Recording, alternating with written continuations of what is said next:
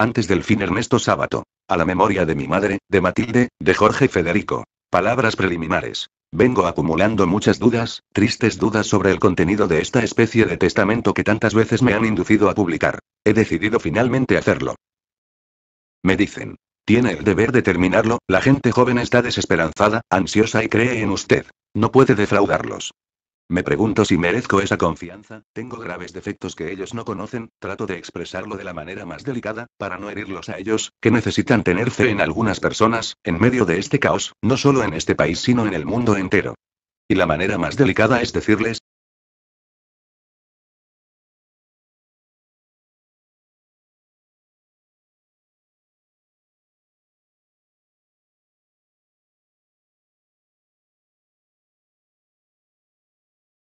Antes del fin Ernesto Sábato. A la memoria de mi madre, de Matilde, de Jorge Federico. Palabras preliminares. Vengo acumulando muchas dudas, tristes dudas sobre el contenido de esta especie de testamento que tantas veces me han inducido a publicar. He decidido finalmente hacerlo.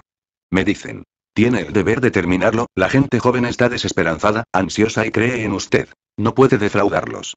Me pregunto si merezco esa confianza, tengo graves defectos que ellos no conocen, trato de expresarlo de la manera más delicada, para no herirlos a ellos, que necesitan tener fe en algunas personas, en medio de este caos, no solo en este país sino en el mundo entero.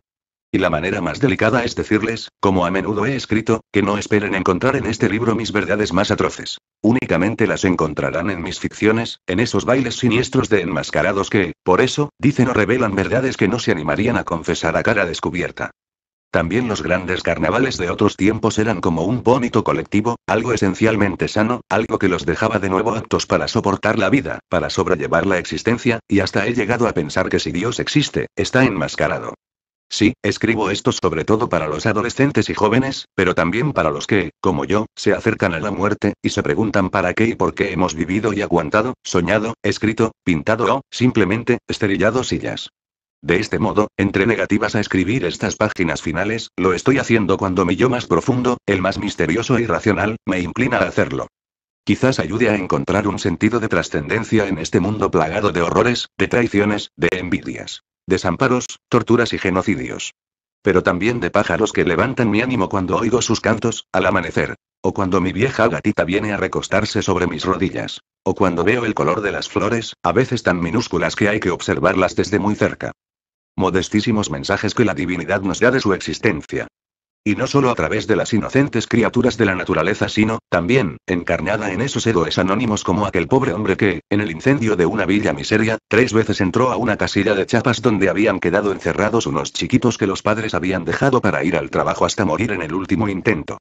Mostrándonos que no todo es miserable, sórdido y sucio en esta vida, y que ese pobre ser anónimo, al igual que esas florcitas, es una prueba del absoluto. Y primeros tiempos. Y grandes decisiones. Como un exiliado camino por las callejuelas de la ciudad más antigua, la primera en nacer. Mi alma va delante de mí, vacilante y ansiosa. ¿Qué la perturba? ¿Su abandono o su búsqueda de una nueva morada? Allí estoy, sonámbula, huérfana y vencida. Añoro la playa y las altas colinas y aquella barca azul que cerca de la costa está esperándome. Matilde Kuzminski Richter, 7 me acabo de levantar, pronto serán las 5 de la madrugada. Trato de no hacer ruido, voy a la cocina y me hago una taza de té, mientras intento recordar fragmentos de mis semisueños, esos semisueños que, a estos 86 años, se me presentan intemporales, mezclados con recuerdos de la infancia. Nunca tuve buena memoria, siempre padecí esa desventaja. Pero tal vez sea una forma de recordar únicamente lo que debe ser, quizá lo más grande que nos ha sucedido en la vida, lo que tiene algún significado profundo, lo que ha sido decisivo para bien y para mal en este complejo, contradictorio e inexplicable viaje hacia la muerte que es la vida de cualquiera.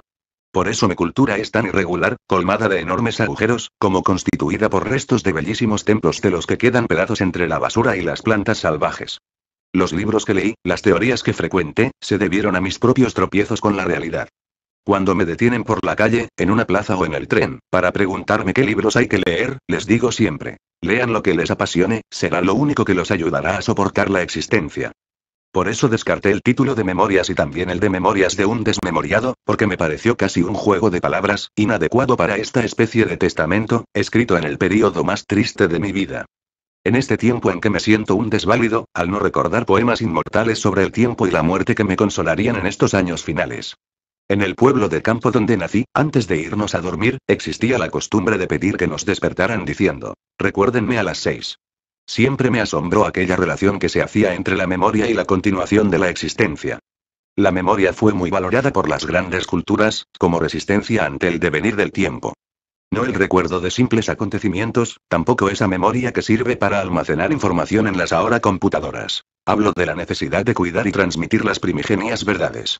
En las comunidades arcaicas, mientras el padre iba en busca de alimento y las mujeres se dedicaban a la alfarería o al cuidado de los cultivos, los chiquitos, sentados sobre las rodillas de sus abuelos, eran educados en su sabiduría. No en el sentido que le otorga a esta palabra la civilización cientificista, sino aquella que nos ayuda a vivir y a morir. La sabiduría de esos ocho consejeros, que en general eran analfabetos, pero, como un día me dijo el gran poeta Senghor, en Dakar, la muerte de uno de esos ancianos es lo que para ustedes sería el incendio de una biblioteca de pensadores y poetas. En aquellas tribus, la vida poseía un valor sagrado y profundo. Y sus ritos, no solo hermosos sino misteriosamente significativos, consagraban los hechos fundamentales de la existencia. El nacimiento, el amor, el dolor y la muerte. En torno a penumbras que avizoro, en medio del abatimiento y la desdicha, como uno de esos ancianos de tribu que, acomodados junto al calor de la brasa, rememoran sus antiguos mitos y leyendas, me dispongo a contar algunos acontecimientos, entremezclados, difusos, que han sido parte de tensiones profundas y contradictorias, de una vida llena de equivocaciones, desprolija, caótica, en una desesperada búsqueda de la verdad. 9. Me llamo Ernesto, porque cuando nací, el 24 de junio de 1911, día del nacimiento de San Juan Bautista, acababa de morir el otro Ernesto, al que, aún en su vejez, mi madre siguió llamando Ernestito, porque murió siendo una criatura. Aquel niño no era para este mundo, decía. Creo que nunca la vi llorar tan estoica y valiente fue a lo largo de su vida, pero, seguramente, lo haya hecho a solas. Y tenía 90 años cuando mencionó, por última vez, con sus ojos humedecidos, al remoto Ernestito. Lo que prueba que los años, las desdichas, las desilusiones, lejos de facilitar el olvido, como se suele creer, tristemente lo refuerzan. Aquel nombre, aquella tumba, siempre tuvieron para mí algo de nocturno, y tal vez haya sido la causa de mi existencia tan dificultosa, al haber sido marcado por esa tragedia, ya que entonces estaba en el vientre de mi madre. Y motivó, quizá, los misteriosísimos pavores que sufrí de chico, las alucinaciones en las que de pronto alguien se me aproximaba con una linterna, un hombre a quien me era imposible evitar, aunque me escondiera temblando debajo de las cobijas. O aquella otra pesadilla en la que me sentía solo en una cósmica bóveda, tiritando ante algo o alguien no lo puedo precisar que vagamente me recordaba a mi padre. Durante mucho tiempo padecí sonambulismo. Yo me levantaba desde el último cuarto donde dormíamos con Arturo, mi hermano menor y, sin tropezar jamás ni despertarme, iba hasta el dormitorio de mis padres, hablaba con mamá y luego, volvía a mi cuarto. Me acostaba sin saber nada de lo que había pasado, sin la menor conciencia. De modo que cuando a la mañana ella me decía, con tristeza tanto sufrió por mí. Con voz apenas audible. Anoche te levantaste y me pediste agua, yo sentía un extraño temblor. Ella temía ese sonambulismo, me lo dijo muchos años más tarde, cuando me enviaron a La Plata para hacer los estudios secundarios, y ya ella no estuvo para protegerme. Pobre mamá, no comprendía, ni yo tampoco en aquel entonces, que ese tormento en gran parte era el resultado de la convivencia espartana, regida por mi padre. La tierra de mi infancia, como un pueblo estremecido por fuerzas extrañas, se hallaba invadida por el terror que sentía hacia él. Lloraba a escondidas, ya que nos estaba prohibido hacerlo y, para evitar sus ataques de violencia, mamá corría a ocultarme. Con tal desesperación mi madre se había aferrado a mí para protegerme, sin desearlo, ya que su amor y su bondad eran infinitos, que acabó aislándome del mundo. Convertido en un niño solo y asustado, desde la ventana contemplaba el mundo de trompos y escondidas que me había sido vedado. De alguna manera, nunca dejé de ser el niño solitario que se sintió abandonado, por lo que he vivido bajo una angustia semejante a la de Pessoa. Seré siempre el que esperó a que le abrieran la puerta, junto a un muro sin puerta. Y así, de una u otra forma, necesité compasión y cariño. Cuando me enviaron desde mi pueblo al Colegio Nacional de La Plata para hacer el secundario, en el instante en que me pusieron en el ferrocarril, sentí resquebrajarse el suelo incierto sobre el cual me movía, pero al que aún le aguardaban peores hundimientos. Durante un tiempo, seguí soñando con aquella madre que veía entre lágrimas, mientras me alejaba hacia qué infinita soledad. Y cuando la vida había marcado ya en mi rostro las desdichas, cuántas veces, en un banco de plaza, apesadumbrado y abatido, he esperado nuevamente un tren de regreso. Once camino por la costanera sur contemplando el portentoso río que, en el crepúsculo del siglo pasado, cruzaron miles de españoles, italianos, judíos, polacos, albaneses, rusos, alemanes, corridos por el hambre y la miseria. Los grandes visionarios que entonces gobernaban el país, ofrecieron esa metáfora de la nada que es nuestra pampa a todos los hombres de buena voluntad, necesitados de un hogar, de un suelo en que arraigarse, dado que es imposible vivir sin patria, o matría, como pretería decir Unamuno, ya que es la madre el verdadero fundamento de la existencia. Pero en su mayoría, esos hombres encontraron otro tipo de pobreza, causada por la soledad y la nostalgia, porque mientras el barco se alejaba del puerto, con el rostro surcado por lágrimas, veían cómo sus madres, hijos, hermanos, se desvanecían hacia la muerte, ya que nunca los volverían a ver. De ese irremediable desconsuelo nació la más extraña canción que ha existido, el tango.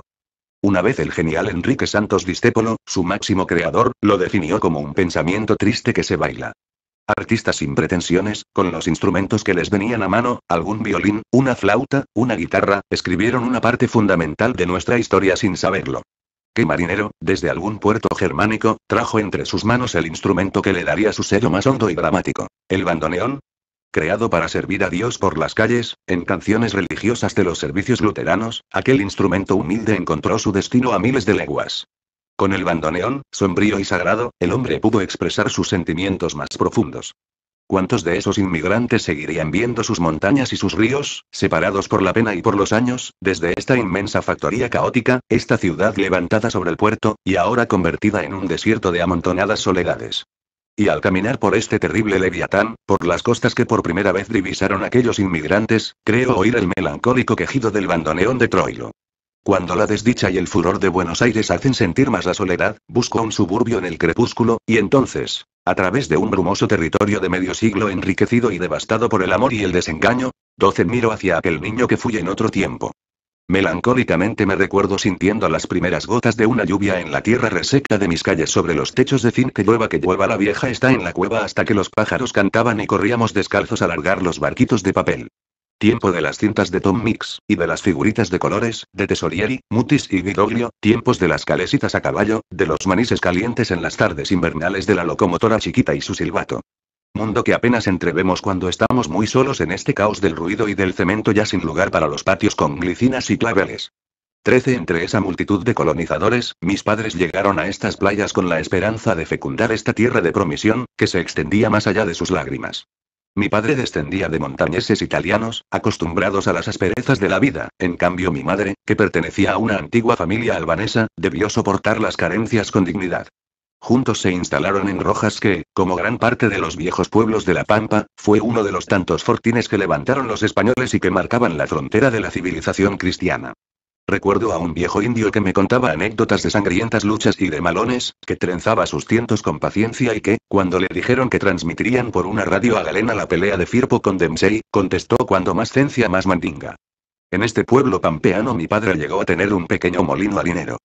Centro de candorosas fantasías para el niño que entonces yo era, cuando los domingos permanecía en el taller haciendo cositas en la carpintería, o subíamos con Arturo a las bolsas de trigo, y a escondidas, como si fuera un misterioso secreto, pasábamos la tarde comiendo galletitas.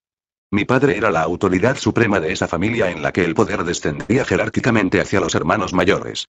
Aún me recuerdo mirando con miedo su rostro surcado a la vez de candor y dureza. Sus decisiones inapelables eran la base de un férreo sistema de ordenanzas y castigos, también para mamá.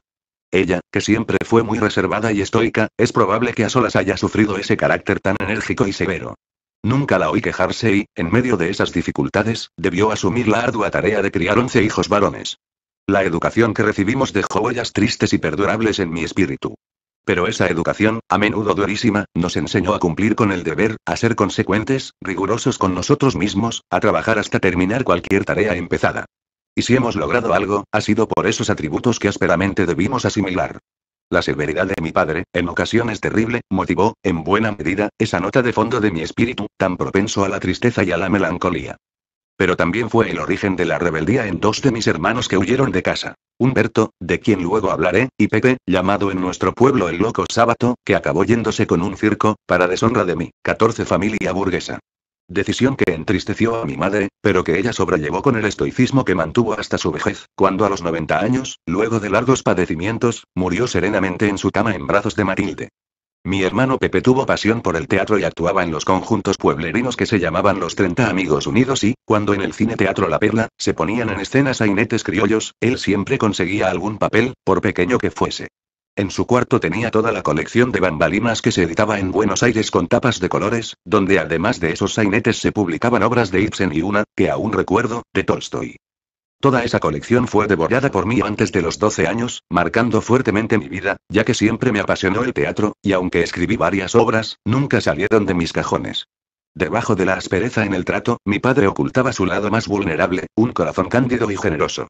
Poseía un asombroso sentido de la belleza, tanto que, cuando debieron trasladarse a La Plata, él mismo diseñó la casa en que vivimos. Tarde descubrí su pasión por las plantas, a las que cuidaba con una delicadeza para mí hasta entonces desconocida. Jamás lo he visto faltar a la palabra empeñada, y con los años, admiré su fidelidad hacia los amigos. Como fue el caso de don Santiago, el sastre que enfermó de tuberculosis. Cuando el doctor Elguero le advirtió que la única posibilidad de sobrevivir era irse a las sierras de Córdoba, mi padre lo acompañó en uno de esos estrechos camarotes de los viejos ferrocarriles, donde el contagio parecía inevitable. Recuerdo siempre esta actitud que define su devoción por la amistad y que supe valorar varios años después de su muerte, como suele ocurrir en esta vida que, a menudo, es un permanente desencuentro. Cuando se ha hecho tarde para decirle que lo queremos a pesar de todo y para agradecerle los esfuerzos con que intentó prevenirnos de las desdichas que son inevitables y, a la vez, aleccionadoras. Porque no todo era terrible en mi padre, y con nostalgia entreveo antiguas alegrías, como las noches en que me tenía sobre sus rodillas y me cantaba canciones de su tierra, o cuando por las tardes, al regresar del juego de naipes en el club social, me traía mentolina, las pastillas que a todos nos gustaban. Desgraciadamente, él ya no está y cosas fundamentales han quedado sin decirse entre nosotros. Cuando el amor es ya inexpresable, y las viejas heridas permanecen sin cuidado. Entonces descubrimos la última soledad. La del amante sin el amado, los hijos sin sus padres, el padre sin sus hijos. Hace muchos años fui hasta aquella Paola de San Francisco donde un día se enamoró de mi madre. Entreviendo su infancia entre esas tierras añoradas, mirando hacia el Mediterráneo, incliné la cabeza y mis ojos se nublaron. 15 A medida que nos acercamos a la muerte, también nos inclinamos hacia la tierra. Pero no a la tierra en general, sino a aquel pedazo, a aquel ínfimo pero tan querido, tan añorado pedazo de tierra en que transcurrió nuestra infancia. Y porque allí dio comienzo el duro aprendizaje, permanece amparado en la memoria. Melancólicamente rememoro ese universo remoto y lejano, ahora condensado en un rostro, en una humilde plaza, en una calle. Siempre he añorado los ritos de mi niñez con sus reyes magos que ya no existen más. Ahora, hasta en los países tropicales, los reemplazan con esos pobres diablos disfrazados de Santa Claus, con pieles polares, sus barbas largas y blancas, como la nieve de donde simulan que vienen. No, estoy hablando de los reyes magos que en mi infancia, en mi pueblo de campo, venían misteriosamente cuando ya todos los chiquitos estábamos dormidos, para dejarnos en nuestros zapatos algo muy deseado. También en las familias pobres, en que apenas dejaban un juguete de lata, o unos pocos caramelos, o alguna tijerita de juguete para que una nena pudiera imitar a su madre costurera, cortando vestiditos para una muñeca de trapo. Hoy a esos reyes magos les pediría solo una cosa. Que me volvieran a ese tiempo en que creía en ellos, a esa remota infancia, hace mil años, cuando me dormía anhelando su llegada en los milagrosos camellos, capaces de atravesar muros y hasta de pasar por las hendiduras de las puertas porque así nos explicaba mamá que podían hacerlo, silenciosos y llenos de amor. Esos seres que ansiábamos ver, tardándonos en dormir, hasta que el invencible sueño de todos los chiquitos podía más que nuestra ansiedad. Sí, querría que me devolvieran aquella espera, aquel candor. Sé que es mucho pedir, un imposible sueño, la irrecuperable magia de mi niñez con sus navidades y cumpleaños infantiles, el rumor de las chicharras en las siestas de verano. Al caer la tarde, mamá me enviaría a la casa de misia escolástica, la señorita mayor. Momentos del rito de las golosinas y las galletitas Lola, a cambio del recado de siempre. Manda decir mamá que cómo está y muchos recuerdos. Cosas así, no grandes, sino pequeñas y modestísimas cosas. Sí, querría que me devolvieran a esa época cuando los cuentos comenzaban había una vez, y, con la fe absoluta de los niños, uno era inmediatamente elevado a una misteriosa realidad. O aquel conmovedor ritual, cuando llegaba la visita de los grandes circos que ocupaban la Plaza España y con silencio contemplábamos los actos de magia, y el número del domador que se encerraba con su león en una jaula ubicada a lo largo del 16 picalero. Y el clown, Scarpini y Bertoldito, que gustaba de los papeles trágicos, hasta que una noche, cuando interpretaba espectros, se envenenó en escena mientras el público inocentemente aplaudía. Al levantar el telón lo encontraron muerto, y su mujer, Angelita Alarcón, gran acróbata, lloraba abrazando desconsoladamente su cuerpo. Lo rememoro siempre que contemplo los payasos que pintó Robault. Esos pobres bufones que, al terminar su parte, en la soledad del carromato se quitan las lentejuelas y regresan a la opacidad de lo cotidiano, donde los ancianos sabemos que la vida es imperfecta, que las historias infantiles con buenos y malvados, justicia e injusticia, verdad y mentira, son finalmente nada más que eso. Inocentes sueños. La dura realidad es una desoladora confusión de hermiosos ideales y torpes realizaciones, pero siempre habrá algunos empecinados, héroes, santos y artistas, que en sus vidas y en sus obras alcanzan pedazos del absoluto, que nos ayudan a soportar las repugnantes relatividades. En la soledad de mi estudio contemplo el reloj que perteneció a mi padre, la vieja máquina de coser Newhon de mamá, una jarrita de plata y el col que tenía papá siempre en su cajón, y que luego fue pasado como herencia al hermano mayor, hasta llegar a mis manos. Me siento entonces un triste testigo de la inevitable transmutación de las cosas que se revisten de una eternidad ajena a los hombres que las usaron. Cuando los sobreviven, vuelven a su inútil condición de objetos y toda la magia, todo el candor, sobrevuela como una fantasmagoría incierta ante la gravedad de lo vivido. Restos de una ilusión, solo fragmentos de un sueño soñado. Adolescente sin luz, tu grave pena lloras, tus sueños no volverán, corazón, tu infancia ya terminó. La tierra de tu niñez quedó para siempre atrás, solo puedes recordar, con dolor, los años de su esplendor. Polvo cubre tu cuerpo, nadie escucha tu oración, tus sueños no volverán, corazón, tu infancia ya terminó. 17 Al terminar la escuela primaria de mi pueblo, en 1923, en medio del desgarramiento más hondo de mi vida, mi hermano Pancho me llevó a La Plata para completar mis estudios. Recuerdo la primera noche, con su enigmática madrugada en la casa de la calle Pedro Echagüe, oyendo entre sueños un ruido inédito para mí, que a través de las décadas se ha conservado como una imagen de mi tristeza infantil. El sonido de los cascos de caballos y de las chatas por el empedrado. Remotísimos tiempos en que no había jeans, cuando los chicos llevábamos pantaloncitos cortos y los pantalones largos simbolizaban un terrible acontecimiento en nuestras vidas, marcado por el orgullo y por la vergüenza. Muchas veces, lloré durante la noche en esa ciudad que luego llegó a estar tan entrañablemente unida a mi destino. En los penosos días que precedieron al comienzo de las clases, tuve uno de los dolores más grandes. Me había llevado al bosque una paletita de lata, una humilde imitación de la paleta de un pintor, comprada por mi hermano en la ferretería del pueblo. Tenía pastillas de acuarelas que para mí eran un tesoro, con las que copiaba láminas de almanaques. Recuerdo una troita en la nieve de una Rusia lejana y misteriosa. Pregunté cómo ir hasta el famoso bosque de la plata y allí me fui con las acuarelas, un frasco con agua, un par de pinceles y un cuaderno de hojas blancas. Me senté en el pasto entre los enormes eucaliptos y empecé a pintar uno de esos troncos descascarados, con sus cambiantes matices de verdes, ocres y marrones, imbricados de una manera que me conmovía.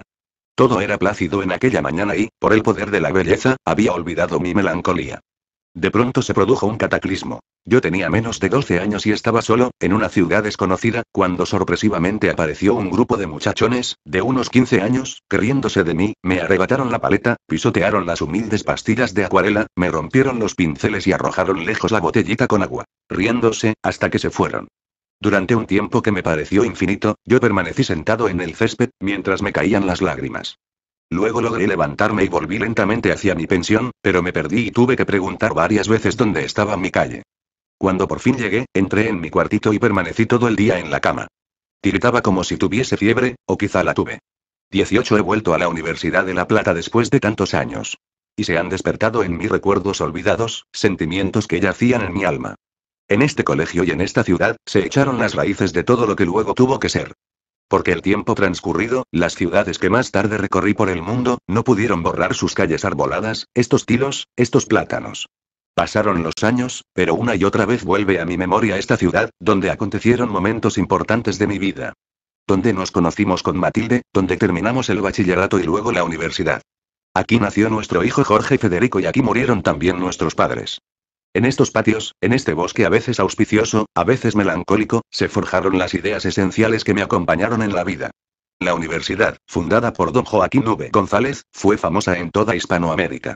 Asistían alumnos que venían de Colombia, de Perú, de Bolivia, de Guatemala, quienes creaban sus propias colonias en caserones.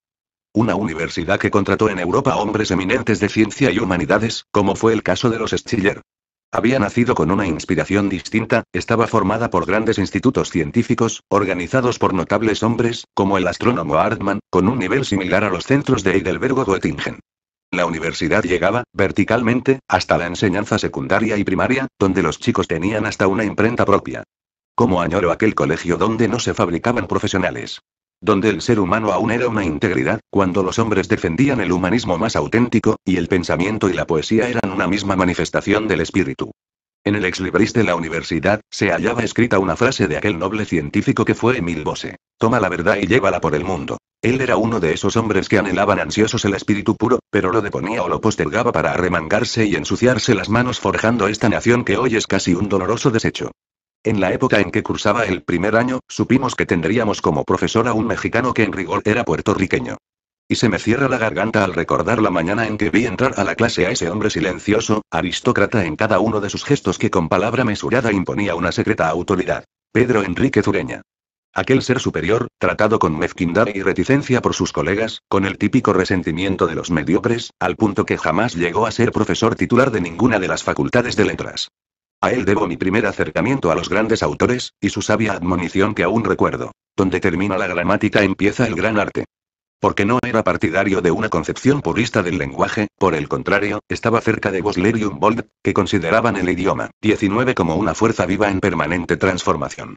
En años posteriores, junto con él y Raimundo Lira, tuvimos largas conversaciones sobre estos temas en el Instituto de Filología, que por ese entonces dirigía Amado Alonso. Cuando alguna vez he vuelto a viajar en tren, soñé con encontrar a ese profesor de mi secundaria, sentado en algún vagón, con el portafolio lleno de deberes corregidos, como esa vez hace tanto. Cuando juntos en un tren, yo le pregunté, apenado de ver cómo pasaba los años en tareas menores, ¿por qué, don Pedro, pierde tiempo en esas cosas? Y él, con su amable sonrisa, me respondió. Porque entre ellos puede haber un futuro escritor. ¿Cuánto le debo a Enrique Zureña? Aquel hombre encorvado y pensativo, con su cara siempre melancólica. Perteneció a una raza de intelectuales hoy en extinción, un romántico a quien Alfonso Reyes llamó testigo insobornable, un hombre capaz de atravesar la ciudad en la noche para socorrer a un amigo. Y por esa noble concepción de la vida, por la comunión y el valor con que enfrentaba la desdicha, paradójicamente, junto a aquel intelectual de mi secundaria me viene a la memoria el rostro de mi hermano Humberto, aventurero que jamás realizó estudios superiores, pero que fue admirado y respetado por todos los que lo conocieron y que iban a consultarlo cuando se trataba de tomar una decisión difícil. Por eso, cuando la enfermedad de Humberto se agravó, me entristeció enormemente que se lo engañara diciéndole que era una simple infección, si en verdad todos sabíamos que se trataba de un terrible cáncer de estómago. Ese hombre, tan admirado por su rectitud y entereza, merecía saber y afrontar la verdad como solía hacerlo. Y entonces tomé la dura decisión de hablar con él. Jamás olvidaré el silencio. Aquellos ojos bien abiertos parecieron divisar el fin, sin abatimiento, con esa serenidad que siempre lo había fortalecido. Encendió un cigarrillo. No lloramos. No debíamos hacerlo. Tampoco pudimos abrazarnos. Aún nos pesaba sobre los hombros la mirada imperativa de nuestro padre. Todos lloraron la pérdida de Humberto, alguien que había sido, como dijo durante el entierro uno de sus grandes amigos, nada menos que todo un hombre. Sí, querido hermano, fuiste esa clase de hombres de la talla de Saint-Exupéry, quien luchó en su avión contra la tempestad, junto con su telegrafista, unidos en el silencio, por el peligro común pero también, por la esperanza. Esos hombres que levantaron su altar en medio de la mugre, con su camaradería ante el fracaso y la muerte. Veinte los conflictivos años de mi secundaria, además del tiempo de dolorosas angustias, fueron también de importantes descubrimientos. El primer día de clase aconteció una portentosa revelación. En un banco no demasiado visible, asustado y solitario chico de un pueblo pampeano, vi a don Edelmiro Calvo, a indiado caballero de provincia, alto y de porte distinguido, demostrar con pulcritud el primer teorema. Quedé deslumbrado por ese mundo perfecto y límpido. No sabía aún que había descubierto el universo platónico, ajeno a los horrores de la condición humana. Pero sí intuí que esos teoremas eran como majestuosas catedrales, bellas estatuas en medio de las derruidas torres de mi adolescencia. Para apaciguar el caos de mi alma volqué mis emociones y ansiedades en una serie de cuadernos, diarios, que quemé cuando fui más grande. Por la angustia en que vivía, busqué refugio en las matemáticas, en el arte y en la literatura, en grandes ficciones que me pusieron al resguardo en mundos remotos y pasados. De la biblioteca del colegio, tan vasta, y para mí inexplorada, aunque estaba sabiamente organizada, leí siempre a tundos, empujado por mis simpatías, ansiedades e intuiciones. Recuerdo las bibliotecas de barrio fundadas por hombres pobres e idealistas que, con grandes esfuerzos, luego de todo un día de trabajo, aún tenían ánimo para atender cariñosamente a los chicos, ansiosos de fantasías y aventuras. Desde mi modesto cuartito de la calle 61, me embargaba hacia los mundos de Salgari y de Julio Verne. Así como más tarde me recreé en las grandes creaciones del romanticismo alemán. Los bandidos de Schiller, Chateaubriand, el Goetz von Berlichingen, Goethe y su inevitable Werther, y Rousseau. Con el tiempo descubrí a los nórdicos. Ibsen, Strindberg, y a los trágicos rusos que tanto me influyeron. Dostoyevsky, Tolstoy, Chekhov, Gogol. Hasta la aventura épica del Mío Cid y el entrañable andariego de la Mancha. Obras a las que una y otra vez he vuelto, como quien regresa a una tierra añorada en el exilio donde acontecieron hechos fundamentales de la existencia. Crimen y Castigo, que a los 15 años me había parecido una novela policial, luego la creí una extraordinaria novela psicológica, hasta finalmente desentrañar el fondo de la mayor novela que se haya escrito sobre el eterno problema de la culpa y la redención. Aún me veo debajo de las cobijas, devorando con avidez aquella obra en edición rústica, de doble o triple traducción. Aún me oigo reír por el desenfado y la encarnecida ironía con que, 21 Wilde desnudaba la hipocresía victoriana. O el temblor que sentía entre las páginas de Poe y sus maravillosos cuentos. O las paradojas de Chesterton y el misterioso padre Brown. Con los años leí apasionadamente a los grandes escritores de todos los tiempos. He dedicado muchas horas a la lectura y siempre ha sido para mí una búsqueda febril. Nunca he sido un lector de obras completas y no me he guiado por ninguna clase de sistematización. Por el contrario, en medio de cada una de mis crisis he cambiado de rumbo, pero siempre me comporté frente a las obras supremas como si me adentrara en un texto sagrado, como si en cada oportunidad se me revelaran los hitos de un viaje iniciático. Las cicatrices que han dejado en mi alma atestiguan que de algo de eso se ha tratado. Las lecturas me han acompañado hasta el día de hoy, transformando mi vida gracias a esas verdades que solo el gran arte puede atesorar. 22 En la irremediable soledad de este amanecer escucho a Brahms, y siempre, por sus melancólicas trompas vuelvo a vislumbrar, tenue pero seguramente, los umbrales del absoluto. Pienso en los tiempos en que Matilde aún podía caminar, apoyada en su bastón, cuando Gladys la traía al estudio y la sentaba a mi lado, sostenida entre almohadones. Yo ponía algo de Schubert, de Corelli, o de algún otro músico que tanto bien le hacía en momentos de tristeza. Escuchábamos la música mientras ella se iba adormeciendo, poco a poco, hasta quedar dormida, con la cabeza inclinada hacia un costado. Yo la contemplaba con los ojos humedecidos. Al cabo de un tiempo se despertaba y preguntaba, ¿por qué no nos vamos a casa? Con voz imperceptible.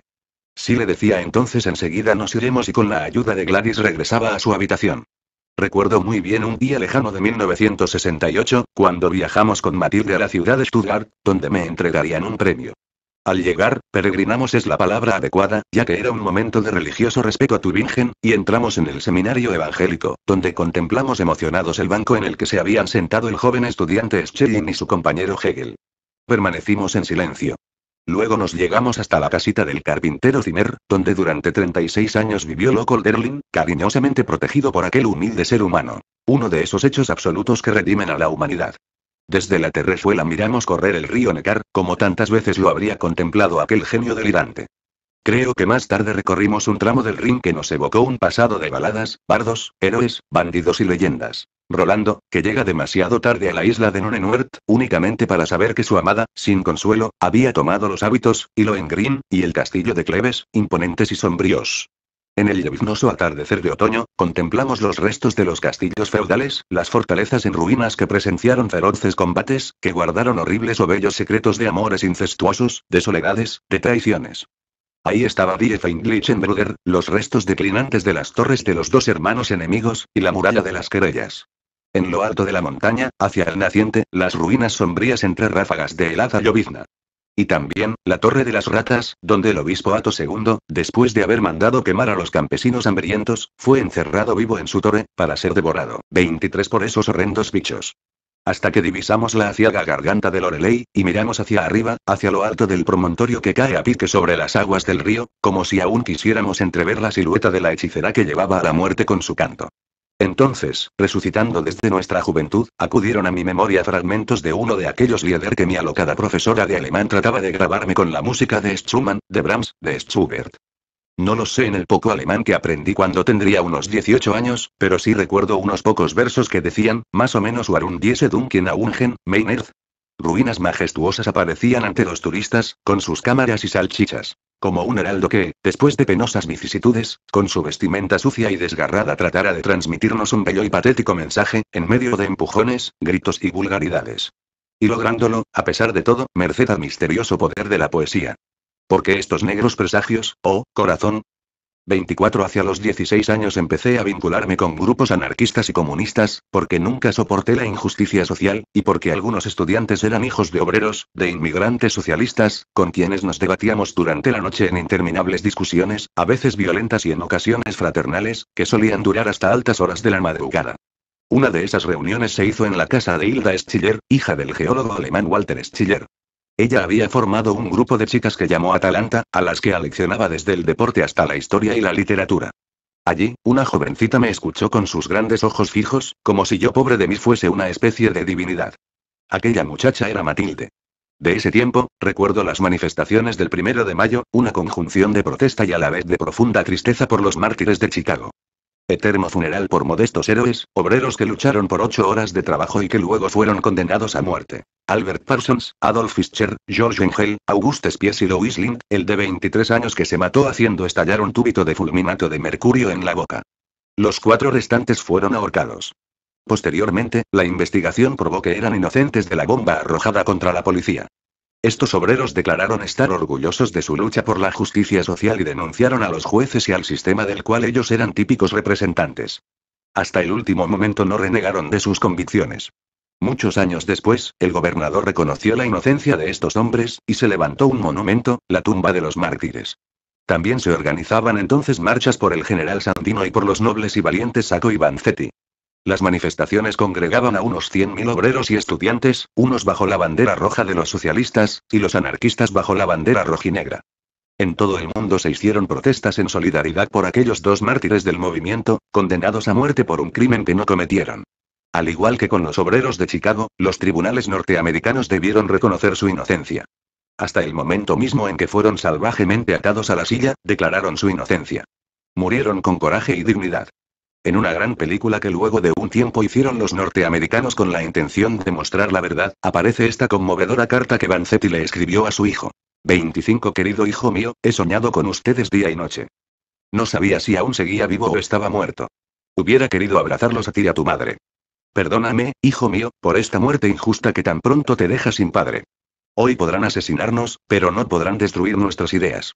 Ellas quedarán para generaciones futuras, para los jóvenes como tú. Recuerda, hijo mío, la felicidad que sientes cuando juegas, no la acapares toda para ti. Trata de comprender con humildad al prójimo, ayuda a los débiles, consuela a quienes lloran. Ayuda a los perseguidos, a los oprimidos. Ellos serán tus mejores amigos. Adiós esposa mía. Hijo mío. Camaradas. Bartolomé Vanzetti las discusiones y peleas entre anarquistas y marxistas eran frecuentes, pero así y todo, tuve compañeros de ambos lados con quienes hasta hoy los que sobrevivimos. Tenemos largas conversaciones recordando aquellos años heroicos. Con cuánta emoción me viene a la memoria aquel tiempo en que inventaba o descubría en el fondo de mi alma a ese analfabeto Carlucho, uno de esos anarquistas infinitamente bondadosos que iban de pueblo en pueblo caminando, hasta llegar a alguna estancia donde se acostumbraba tener un catre para esos seres que predicaban en la noche, alrededor del fogón, lo hermoso que era el anarquismo. Y Carlucho, ese hombretón, que por causa de las torturas había perdido su fuerza, tuvo finalmente un kiosco donde le explicaba con torpes palabras a un chiquilín llamado Nacho, proveniente de una familia aristocrática, porque era hermoso el anarquismo.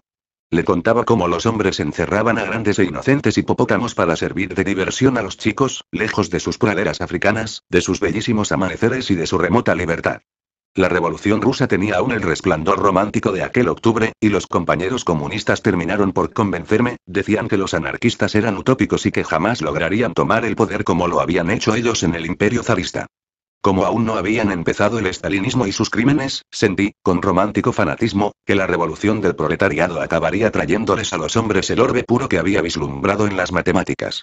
Me alejé de los claustros universitarios y me afilié a la Juventud Comunista. Y junto a ellos, recorrí los grandes frigoríficos Armour Swift, ubicados en Berisso, un pueblo suburbano de La Plata, donde los obreros vivían en la miseria más aterradora, amontonados en casuchas de zinc, entre verdes y malolientes pantanos, arriesgándolo todo en su lucha por un aumento de 20 centavos la hora.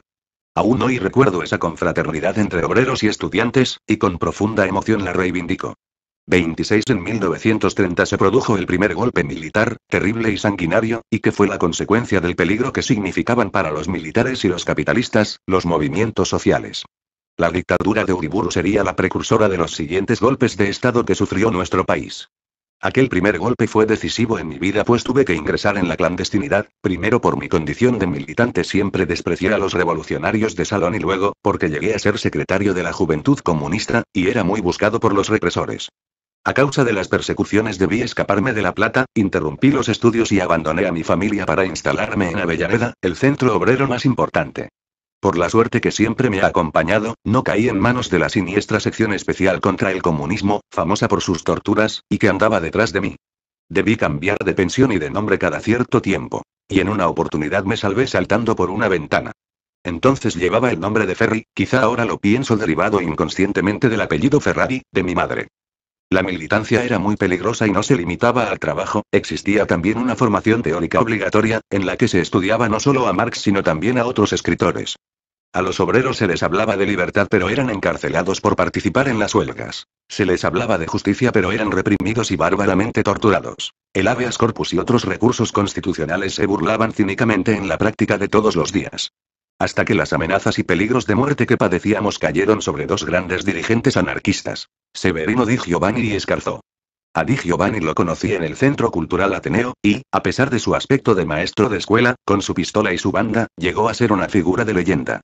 Ellos cayeron presos y, frente al pelotón de fusilamiento, murieron gritando. ¡Viva la anarquía! Grito que, después de sesenta y tantos años, aún me sigue conmoviendo. 27 Ya nada queda de la pensión de la calle Potosí donde una tarde, traída por un buen amigo, llegó Matilde de 19 años, huyendo de un hogar en que se la adoraba, para venir a juntarse en una piezucha de Buenos Aires, con esta especie de delincuente que era yo. Para luchar en la clandestinidad contra la dictadura del general Uriburu, por un mundo sin miseria y sin desamparo. Una utopía, claro, pero sin utopías ningún joven puede vivir en una realidad horrible. Allí, muchas veces soportamos el hambre, cuando compartíamos un poco de pan y mate cocido, salvo en los días de suerte, en que la generosa doña Esperanza, encargada de la pensión, nos golpeaba la puerta para ofrecernos un plato de comida. En esos tiempos de pobreza y persecución, se desencadenó una grave crisis, y finalmente, mi alejamiento de aquel movimiento por el que tanto había arriesgado. Los miembros del partido que, por supuesto, vigilaban cualquier desviación, advirtieron en mí ciertos indicios sospechosos. En conversaciones con camaradas íntimos yo sostuve que la dialéctica era aplicable a los hechos del espíritu, pero no a los de la naturaleza, de modo que el materialismo dialéctico era toda una contradicción. Alguien que no haya conocido a fondo la mentalidad del comunismo militante podría pensar que eso no era grave, cuando en rigor era gravísimo para los dirigentes, que consideraban un delito separar la teoría de la práctica. Sería largo de explicar en qué fundamentos me basaba, lo único que puedo decir es que esto sucedió hacia 1935, y que muchos años más tarde, en un encuentro teórico realizado en la Mutualité de París, se debatió ese problema entre grandes filósofos como Sartre y otros, en el que se sostuvo precisamente lo mismo. Sea como fuere, aquella hipótesis era arriesgadísima porque el marxismo-leninismo estaba codificado de una manera férrea e inapelable. El partido palabra que siempre se escribía con mayúscula resolvió mandarme por dos años a las escuelas leninistas de Moscú, donde uno se curaba o terminaba en un gulag o en un hospital psiquiátrico. Sin duda habría acabado en uno de esos campos de concentración, dada la convicción profunda que tenía sobre ese disparate filosófico.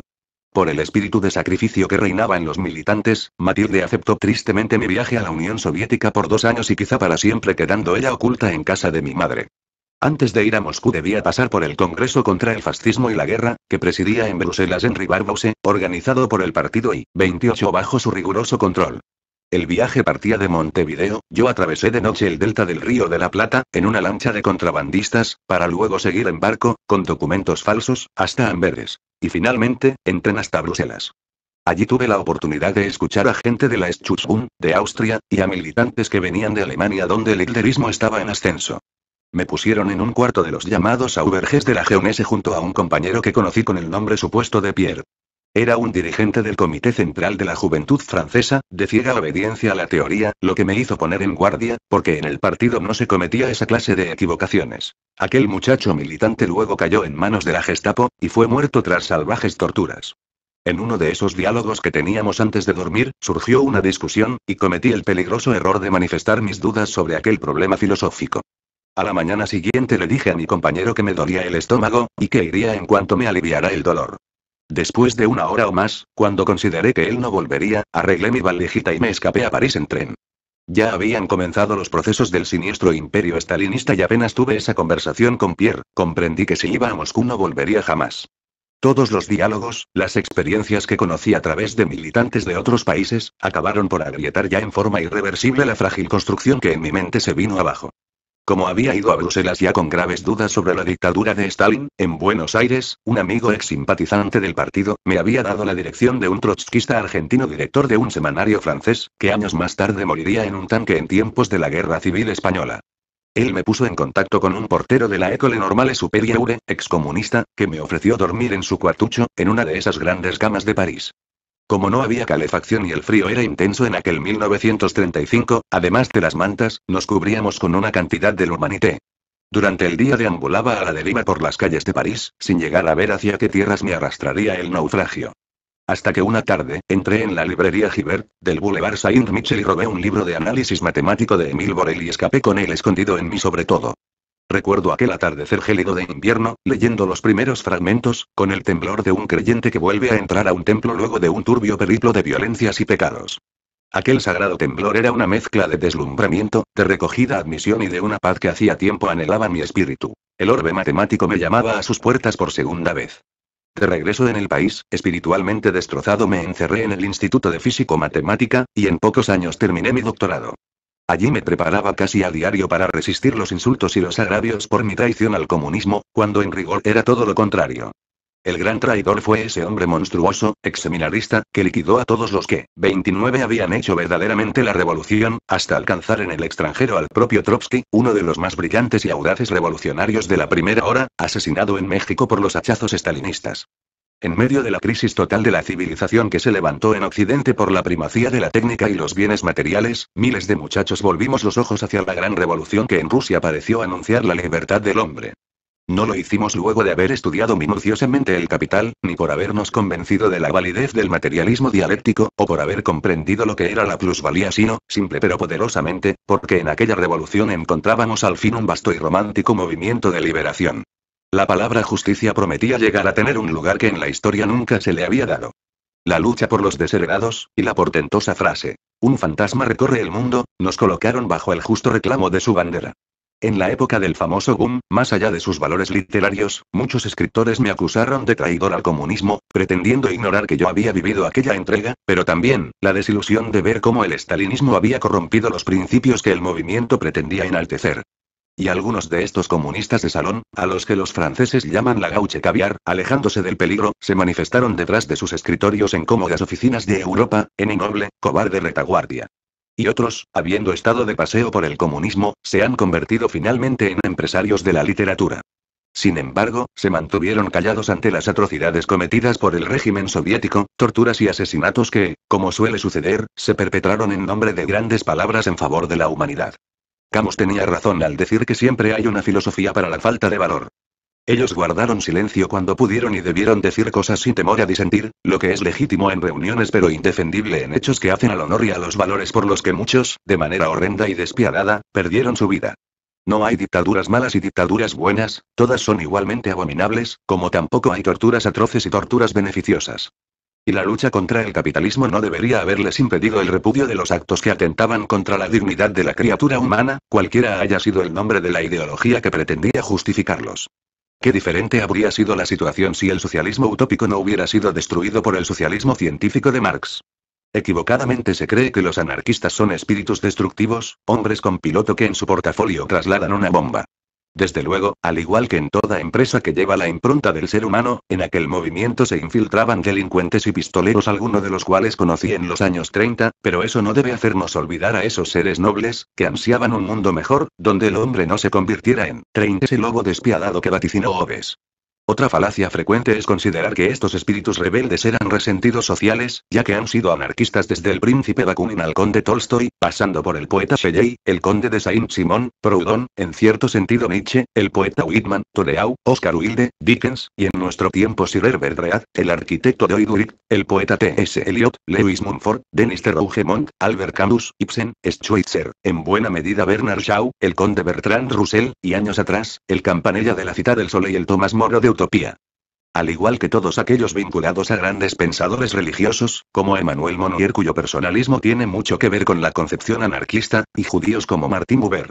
Quizá, por mi formación anarquista, he sido siempre una especie de francotirador solitario, perteneciendo a esa clase de escritores que, como señaló Camus, uno no puede ponerse del lado de quienes hacen la historia, sino al servicio de quienes la parecen.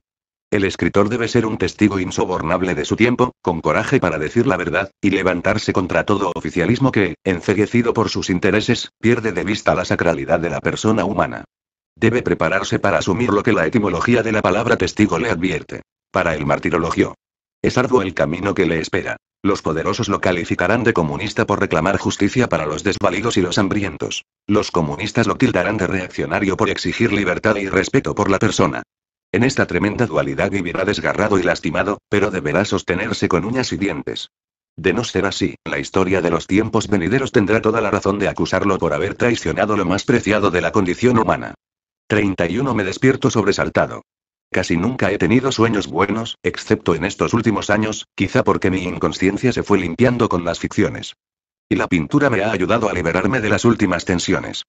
Probablemente porque es una actividad más sana, porque permite volcar de modo inmediato nuestras pavorosas visiones, sin la mediación de la palabra. Sin embargo, en las telas aún perdura cierta angustia, un universo tenebroso que solo una luz tenue ilumina. He soñado, de vez en cuando, con grandes profundidades de mar, con misteriosos fondos submarinos verdosos, azulados, pero transparentes. Hay noches en que me arrastran grandes corrientes, pero no es nada triste ni angustioso, por el contrario, siento una poderosa euforia. Mientras aguardo la llegada de Silvina Benguria, retomo una pintura en la que he estado trabajando anoche, hasta tarde, y que tanto bien me hizo, alejándome de las tristezas y de los horrores del mundo cotidiano. Arrastrado por el olor de la trementina, mi espíritu regresa a aquel tiempo en que viví tensionado entre el universo abstracto de la ciencia y la necesidad de volver al mundo turbio y carnal al cual pertenece el hombre concreto. Cuando terminé mi doctorado en ciencias físico-matemáticas, el profesor Ousai, premio Nobel de Medicina, me concedió la beca que anualmente otorgaba la Asociación para el Progreso de las Ciencias, enviándome a trabajar en el laboratorio Curie. Así llegué a París por segunda vez, en el 38, pero en esta ocasión acompañado por Matilde y nuestro pequeño Jorge Federico, con quienes vivía en un cuartucho ubicado en la Rue Somerard. El período del laboratorio coincidió con esa mitad de camino de la vida en que, según ciertos oscurantistas, se suele invertir el sentido de la existencia. Durante ese tiempo de antagonismos, por la mañana me sepultaba entre electrómetros y probetas, y anochecía en los bares, con los delirantes surrealistas. En el DME y en el Deux Magots, alcoholizados con aquellos heraldos del caos y la desmesura, pasábamos horas elaborando cadáveres exquisitos. Uno de los primeros contactos que recuerdo haber hecho con ese mundo que luego me fascinaría, ocurrió en un restaurante griego, sucio pero muy barato, donde acostumbraba a almorzar con Matilde. De pronto vimos entrar a un malayo, alto y flaco, y ella, temió que se sentara con nosotros, lo que el hombre finalmente hizo. Dirigiéndose a mi mujer, dijo en un inconfundible 32 acento cubano. No tenga miedo, señora, soy una buena persona. Así comenzó la amistad con aquel excepcional pintor. Wilfredo Lam. Pronto me vinculé con todo el grupo surrealista de Breton. Oscar Domínguez, Ferret, Marcelle Ferry, Mata, Francés, Tristan Chara. Una mañana llegó al laboratorio Cecilia Mosin, con una carta de presentación de Sadowski. Y aunque su intención era trabajar con rayos cósmicos, la disuadí para que se quedara como mi asistente y se la presenté a Irene Juliot Curie, quien la aceptó de inmediato. Entre la bruma de los recuerdos, la veo parada, siempre correcta, con su delantalcito blanco, observando con preocupación ciertos cambios en mi persona.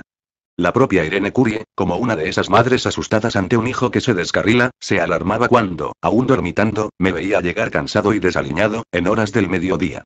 Pobre, no sabía que el honorable Dr. Jekyll comenzaba a agonizar entre las garras del satánico Mr. Hyde. Una lucha que se debatía en el corazón mismo de Robert Stevenson. Antiguas fuerzas, en algún oscuro recinto, preparaban la alquimia que me alejaría para siempre del incontaminado reino de la ciencia. Mientras los creyentes, en la solemnidad de los templos musitaban sus oraciones, ratas hambrientas devoraban ansiosamente los pilares, derribando la catedral de teoremas. Había dado comienzo la crisis que me alejaría de la ciencia. Porque mi espíritu, que se ha regido siempre por un movimiento pendular, de alternancia entre la luz y las tinieblas, entre el orden y el caos, de lo apolíneo a lo dionisiaco, en medio de ese carácter desdichado de mi espíritu, se encontraba ahora azorado entre la forma más extrema del racionalismo, que son las matemáticas, y la más dramática y violenta forma de la irracionalidad. Muchos, con perplejidad, me han preguntado cómo es posible que habiendo hecho el doctorado en ciencias físico-matemáticas, me haya ocupado luego de cosas tan dispares como las novelas con ficciones demenciales como el informe sobre ciegos, y, finalmente esos cuadros terribles que me surgen del inconsciente. En la mayor parte de los casos, sobre todo en este periodo de mi existencia, me es imposible explicar a los que me interrogan qué quise decir, o qué representan. Es lo mismo que uno se pregunta cuando ha despertado de un sueño, sobre todo de una pesadilla. Tanta es su ilogicidad, sus contradicciones. Pero de un sueño se puede decir cualquier cosa menos que sea una mentira. Es lo que todos los hombres hacen con su doble existencia, la diurna y la nocturna. Un pobre oficinista sueña de noche con asesinar a puñaladas al jefe, y durante el día lo saluda respetuosamente. El ser humano es esencialmente contradictorio, y hasta el propio Descartes, piedra angular del racionalismo, creó los principios de su teoría a partir de tres sueños que tuvo. Lindo comienzo para un defensor de la razón.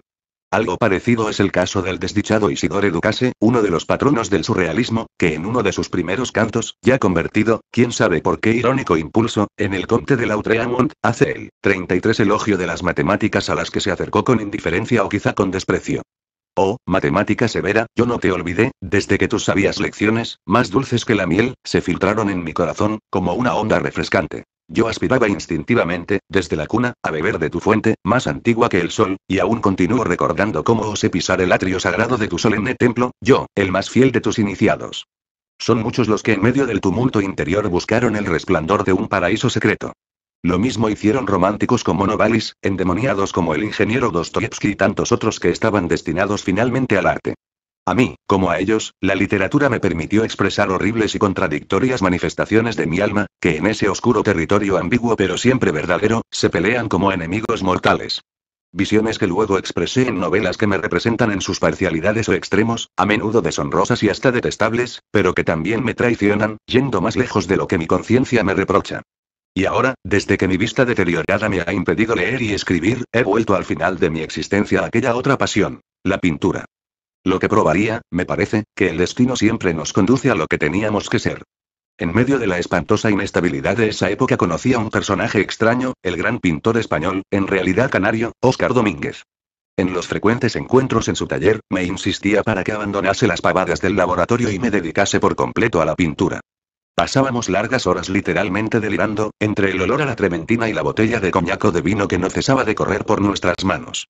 La instigación al suicidio, por momentos aterradora, era una presencia constante luego de acabar cada botella. Sugerencia que me reiteró un domingo lluvioso, a la vuelta del marche a Oxpuces. Yo que le respondí, no Oscar, tengo otros proyectos. Sus locuras, sus permanentes divagues eran un espacio de libertad en medio de la estrechez del mundo cientificista. Su desenfreno era capaz de promover las ocurrencias más disparatadas. En un tiempo, se había dedicado a la investigación, dentro del dominio de la escultura, para obtener superficies litocrónicas. Como yo venía de la física, inventé esa palabra que significa petrificación del tiempo, broma que se me ocurrió basándome en la conocida yuxtaposición, hecha por Oscar, de la Venus de Milo con un violín. Le sugerí entonces la posibilidad de forrar la escultura con una fina y elástica tela para luego desplazar el violín en diferentes formas, y lograr así lo que él denominó en su jerga anquietanz. El texto completo salió publicado en Minotaure, y quedó para mí como 34 testimonio de un tiempo de crisis. Sin embargo, Breton lo elogió con su acostumbrada solemnidad, sin advertir que era una mezcla de disparate y humor negro. Lo que prueba, por otro lado, la ingenuidad de ese gran poeta que, en una delirante mezcla de materialismo dialéctico y Lautréamont, pretendía disimular su falta de rigor filosófico. En otra oportunidad, Domínguez me habló de un amigo que pintaba la cuarta dimensión y, aunque trató de convencerme, le dije que era algo imposible de pintar. Pero ¿cómo explicarle, si Oscar prácticamente no sabía multiplicar, y yo lo adoraba precisamente por esa clase de ignorancias? Hasta que un día lo acompañé al taller de su amigo, un muchachote más bien bajo y menudo, que me mostró sus cuadros. Me gustó mucho lo que hacía, pero les dije que no era la cuarta dimensión, ni cosa que se le pareciera, que necesitaban del conocimiento de matemáticas superiores para comprender el fundamento. Durante muchos años perdí de vista al joven pintor amigo de Domínguez, hasta que en 1989, cuando viajé a París con motivo de mi exposición en el folle del Centre Pompidou, reencontré con profunda alegría a aquel ser generoso y de curioso talento que es Mata. Mantiene el encanto que le había conocido, y está acompañado ahora por la hermosa Germán. Esa misma tarde cenamos juntos, y recordamos con emoción a personas y acontecimientos que nos acompañaron en un tiempo fundamental de nuestras vidas. En esa exposición el gran pensador surrealista Maurice Nadeau tuvo la generosidad de participar en un homenaje que se me hizo. Cuando me contacté con el surrealismo ya se vivía de la nostalgia de lo que habían producido sus más grandes representantes. Acabada la Primera Guerra, la necesidad de destruir los mitos de la sociedad burguesa fue el suelo fértil para el demoledor espíritu de los surrealistas. Pero luego de la bomba atómica, los campos de concentración y sus 6 millones de muertos, esos hombres no supieron cómo reconstruir un mundo en ruinas. Nunca el espíritu destructivo en sí mismo es beneficioso, Hitler, espantosamente lo demostró. Y cuando luego de la guerra, en 1947, volví a París, al provenir de una ciudad como Buenos Aires que no había sufrido ningún efecto directo de la catástrofe, tuve una dolorosa impresión. La encontré triste y, cosa curiosa, uno de los detalles que más me deprimió, quizá por su valor simbólico, fue encontrarme un sábado lluvioso y gris en un café desmantelado. Recordé entonces aquellas montañas de medialunas y brioche que se veían en los mostradores de cualquier café de barrio. Pero, sobre todo, la mayor tristeza fue ver a Bretón, que no se resignaba a dejar en paz el cadáver de su movimiento. Sin embargo, el surrealismo tuvo el alto valor de permitirnos indagar más allá de los límites de una racionalidad hipócrita, y en medio de tanta falsedad, nos ofreció un novedoso estilo de vida. Muchos hombres, de ese modo, hemos podido descubrir nuestro ser auténtico. Por eso mi aspereza, y hasta mi indignación, ante los mistificadores que lo ensuciaron, como Dalí, pero también mi reconocimiento a todos los hombres, 35 trágicos que han salvaguardado lo que de verdadero hubo en ese importante movimiento. Como aquel alocado, violento Domínguez, uno de los pocos personajes surrealistas que quise. Surrealista en su modo de concebir y resistir la existencia. Pasó la última etapa de su vida entre las drogas, el alcohol y las mujeres hasta que se suicidó una noche cortándose las venas, y con su sangre manchó la tela colocada sobre su caballete. 36 en el laboratorio Curie, en una de las más altas metas a las que podía aspirar un físico, me encontré vacío de sentido. Golpeado por el descreimiento, seguí avanzando por una fuerte inercia que mi alma rechazaba. La beca me fue trasladada al Massachusetts Institute of Technology, el MIT, en la ciudad de Boston, donde publiqué un trabajo sobre rayos cósmicos. Pero yo estaba fatalmente desgarrado entre lo que había significado para mí esa vocación, a la que había sacrificado años, y la incierta pero invencible presencia de un nuevo llamado. Momento pendular en que ya no encontramos la identidad en lo que fuimos. En tinieblas volví a Buenos Aires. La decisión estaba tomada en mi espíritu, pero debía arraigarse en la lucha con quienes me tentaban con puestos importantes y me agobiaban con su certeza de la trascendente misión que yo debía a la física. Reivindico con emoción el profundo apoyo que Matilde me dio en ese momento. Ella jamás consideró que yo debiera hacer otra cosa que consagrarme a lo que mi intuición me señalaba, y nunca me recriminó las comodidades que nuestra familia habría de perder. Hice ese tránsito, como un puente que se extendiera entre dos colosales montañas, por momentos mareado y sin saber lo que estaba haciendo, y en otros, en cambio, con el gozo irrefrenable que acompaña al nacimiento de toda gran pasión. Como último deber hacia las personas que me habían dado la beca, enseñé teoría cuántica y relatividad en la Universidad de La Plata, donde tuve como alumnos a Balceiro, cuyo nombre preside hoy un centro atómico en la ciudad de Bariloche, y a Mario Bunge. Cuando a principios de la década del 40 tomé la decisión de abandonar la ciencia, recibí durísimas críticas de los científicos más destacados del país. El doctor Usay me retiró el saludo para siempre. El doctor Gaviola, entonces director del Observatorio de Córdoba, que tanto me había querido, dijo, Sabato abandona la ciencia por el charlatanismo. Y Guido Beck, emigrado austríaco, discípulo de Einstein, en una carta se lamenta diciendo, en su caso, perdemos en usted un físico muy capaz en el cual tuvimos muchas esperanzas. El mundo de los teoremas y un trabajo sobre rayos cósmicos que acababa de publicar en la Physical Review, apenas se divisaban en la inmensa polvareda. Acompañado por Matilde y Jorge, de cuatro años, me fui a vivir a las 37 Sierras de Córdoba, en un rancho sin agua corriente ni luz eléctrica, en la localidad de Pantanillo. Bajo la majestuosidad de los cielos estrellados, sentí cierta paz. Algo parecido a lo que dice Henry David Thoreau. Fui a los bosques porque deseaba vivir en la meditación, afrontar únicamente los hechos esenciales de la vida, y ver si podía aprender lo que ella tenía para enseñarme. No sucediera que, estando próximo a morir, descubriese que no había vivido. No teníamos ni vidrios en las ventanas, y en ese invierno soportamos 14 grados bajo cero, hasta el punto que el río Chorrillos, que cruzaba el terreno, se heló. Nosotros nos calentábamos con el mismo sol de noche con que nos alumbrábamos, y a las 7 de la mañana volvíamos a la cama, de puro frío que hacía.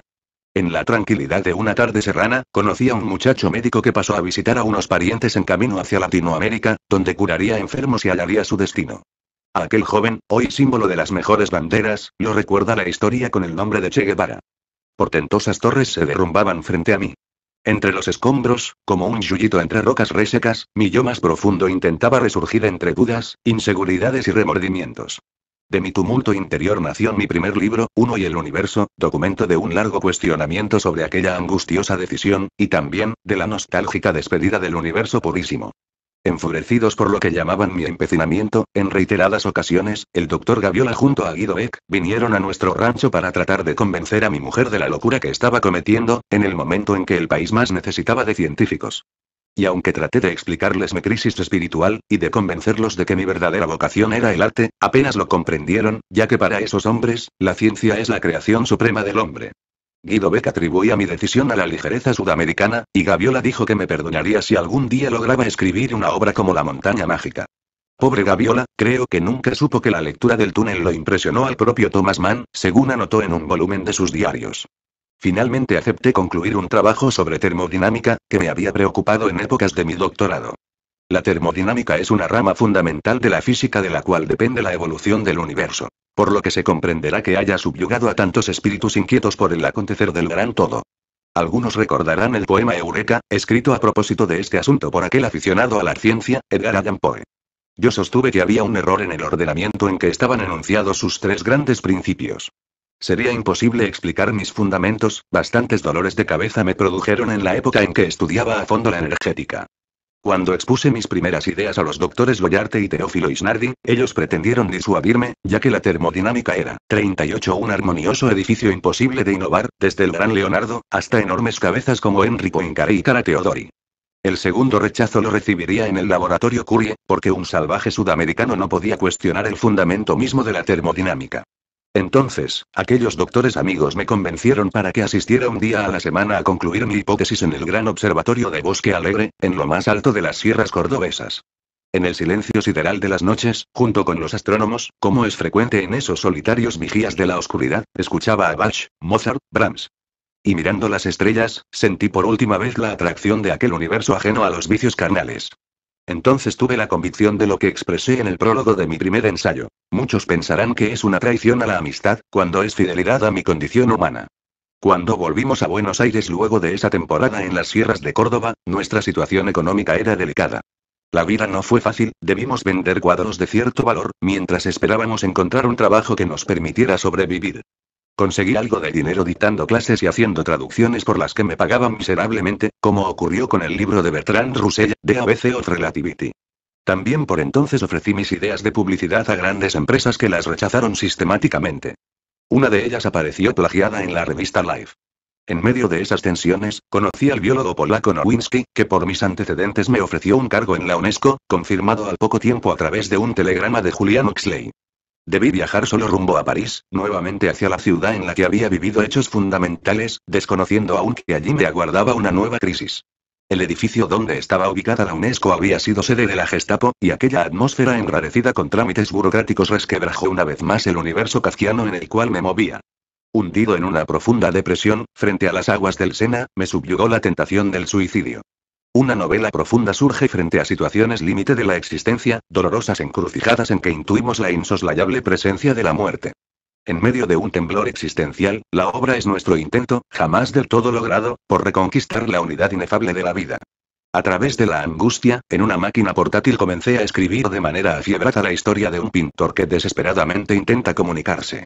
Extraviado en un mundo en descomposición, entre restos de ideologías en bancarrota, la escritura ha sido para mí el medio fundamental, el más absoluto y poderoso que me permitió expresar el caos en que me debatía. Y así pude liberar no solo mis ideas, sino, sobre todo, mis obsesiones más recónditas e inexplicables. La verdadera patria del hombre no es el orbe puro que subyugó a Platón. Su verdadera patria, a la que siempre retorna luego de sus periplos ideales, es esta región intermedia y terrenal del alma, este desgarrado territorio en que, 39 vivimos, amamos y sufrimos. Y en un tiempo de crisis total, solo el arte puede expresar la angustia y la desesperación del hombre, ya que, a diferencia de todas las demás actividades del pensamiento, es la única que capta la totalidad de su espíritu, especialmente, en las grandes ficciones que logran adentrarse en el ámbito sagrado de la poesía. La creación es esa parte del sentido que hemos conquistado en tensión con la inmensidad del caos.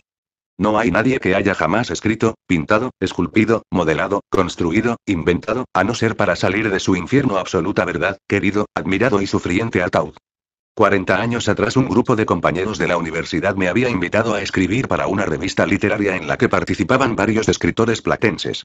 Deseo era gráficamente muy linda, pero esa clase de revistas que no superan el tercer o cuarto número, lo que ocurrió. Sin embargo, fue fundamental para mí. Y al igual que cuando nos creemos perdidos y sin rumbo fijo, así también nuestra vida toma movimientos en apariencia indeterminados, pero que en el fondo, una voluntad desconocida para nosotros nos conduce hacia los lugares en que nos encontraremos con hombres o cosas fundamentales para nuestra existencia. El artículo que yo había escrito para la revista, le interesó a Pedro Enrique Zureña, a quien yo había dejado de ver. Cuando nos reencontramos, volví a sentir la admiración que siempre despertó en mí aquel extraordinario humanista, que anteponía la lucha por la justicia a la propia búsqueda de la perfección intelectual. Alguien frente a quien yo me sentía confirmado por su visión de la vida.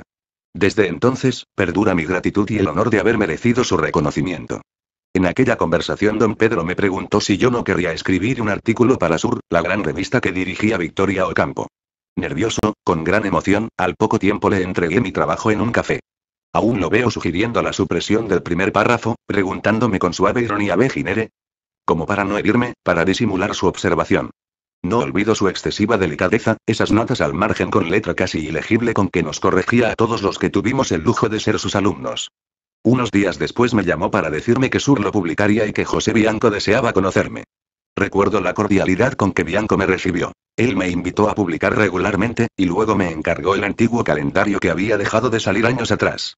A Bianco lo valoré siempre por su preocupación democrática porque, a diferencia de lo que muchos creen, Bianco no era un escritor de Torre de Marfil, sino un fervoroso defensor de la libertad y de los derechos humanos. Con él mantuve largas conversaciones sobre el nazismo en la época de la guerra. La calidad de la revista era producto de su lucha con la imprenta y de la revisión de todos los manuscritos, a los que muy a menudo se veía en la necesidad de corregir, porque de lo contrario es imposible publicarlos, como solía decir, metida su cabeza entre papeles, haciendo su trabajo de inquisidor. 41 se ha acusado a Sur de ser elitista y reaccionaria, lo que siempre consideré una opinión falsa y demagógica.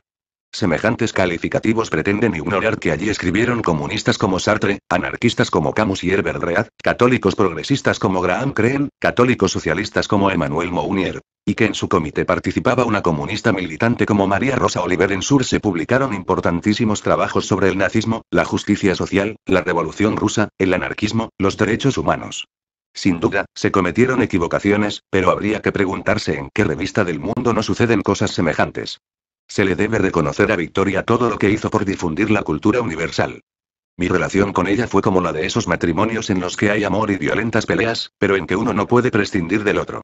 Y si Bianco fue un motor indispensable para la continuidad de Sur, Victoria fue quien creó aquella revista, que jamás habría alcanzado su notable trascendencia sin la insaciable voracidad que tenía ella por la cultura, las artes y las letras de todo el mundo.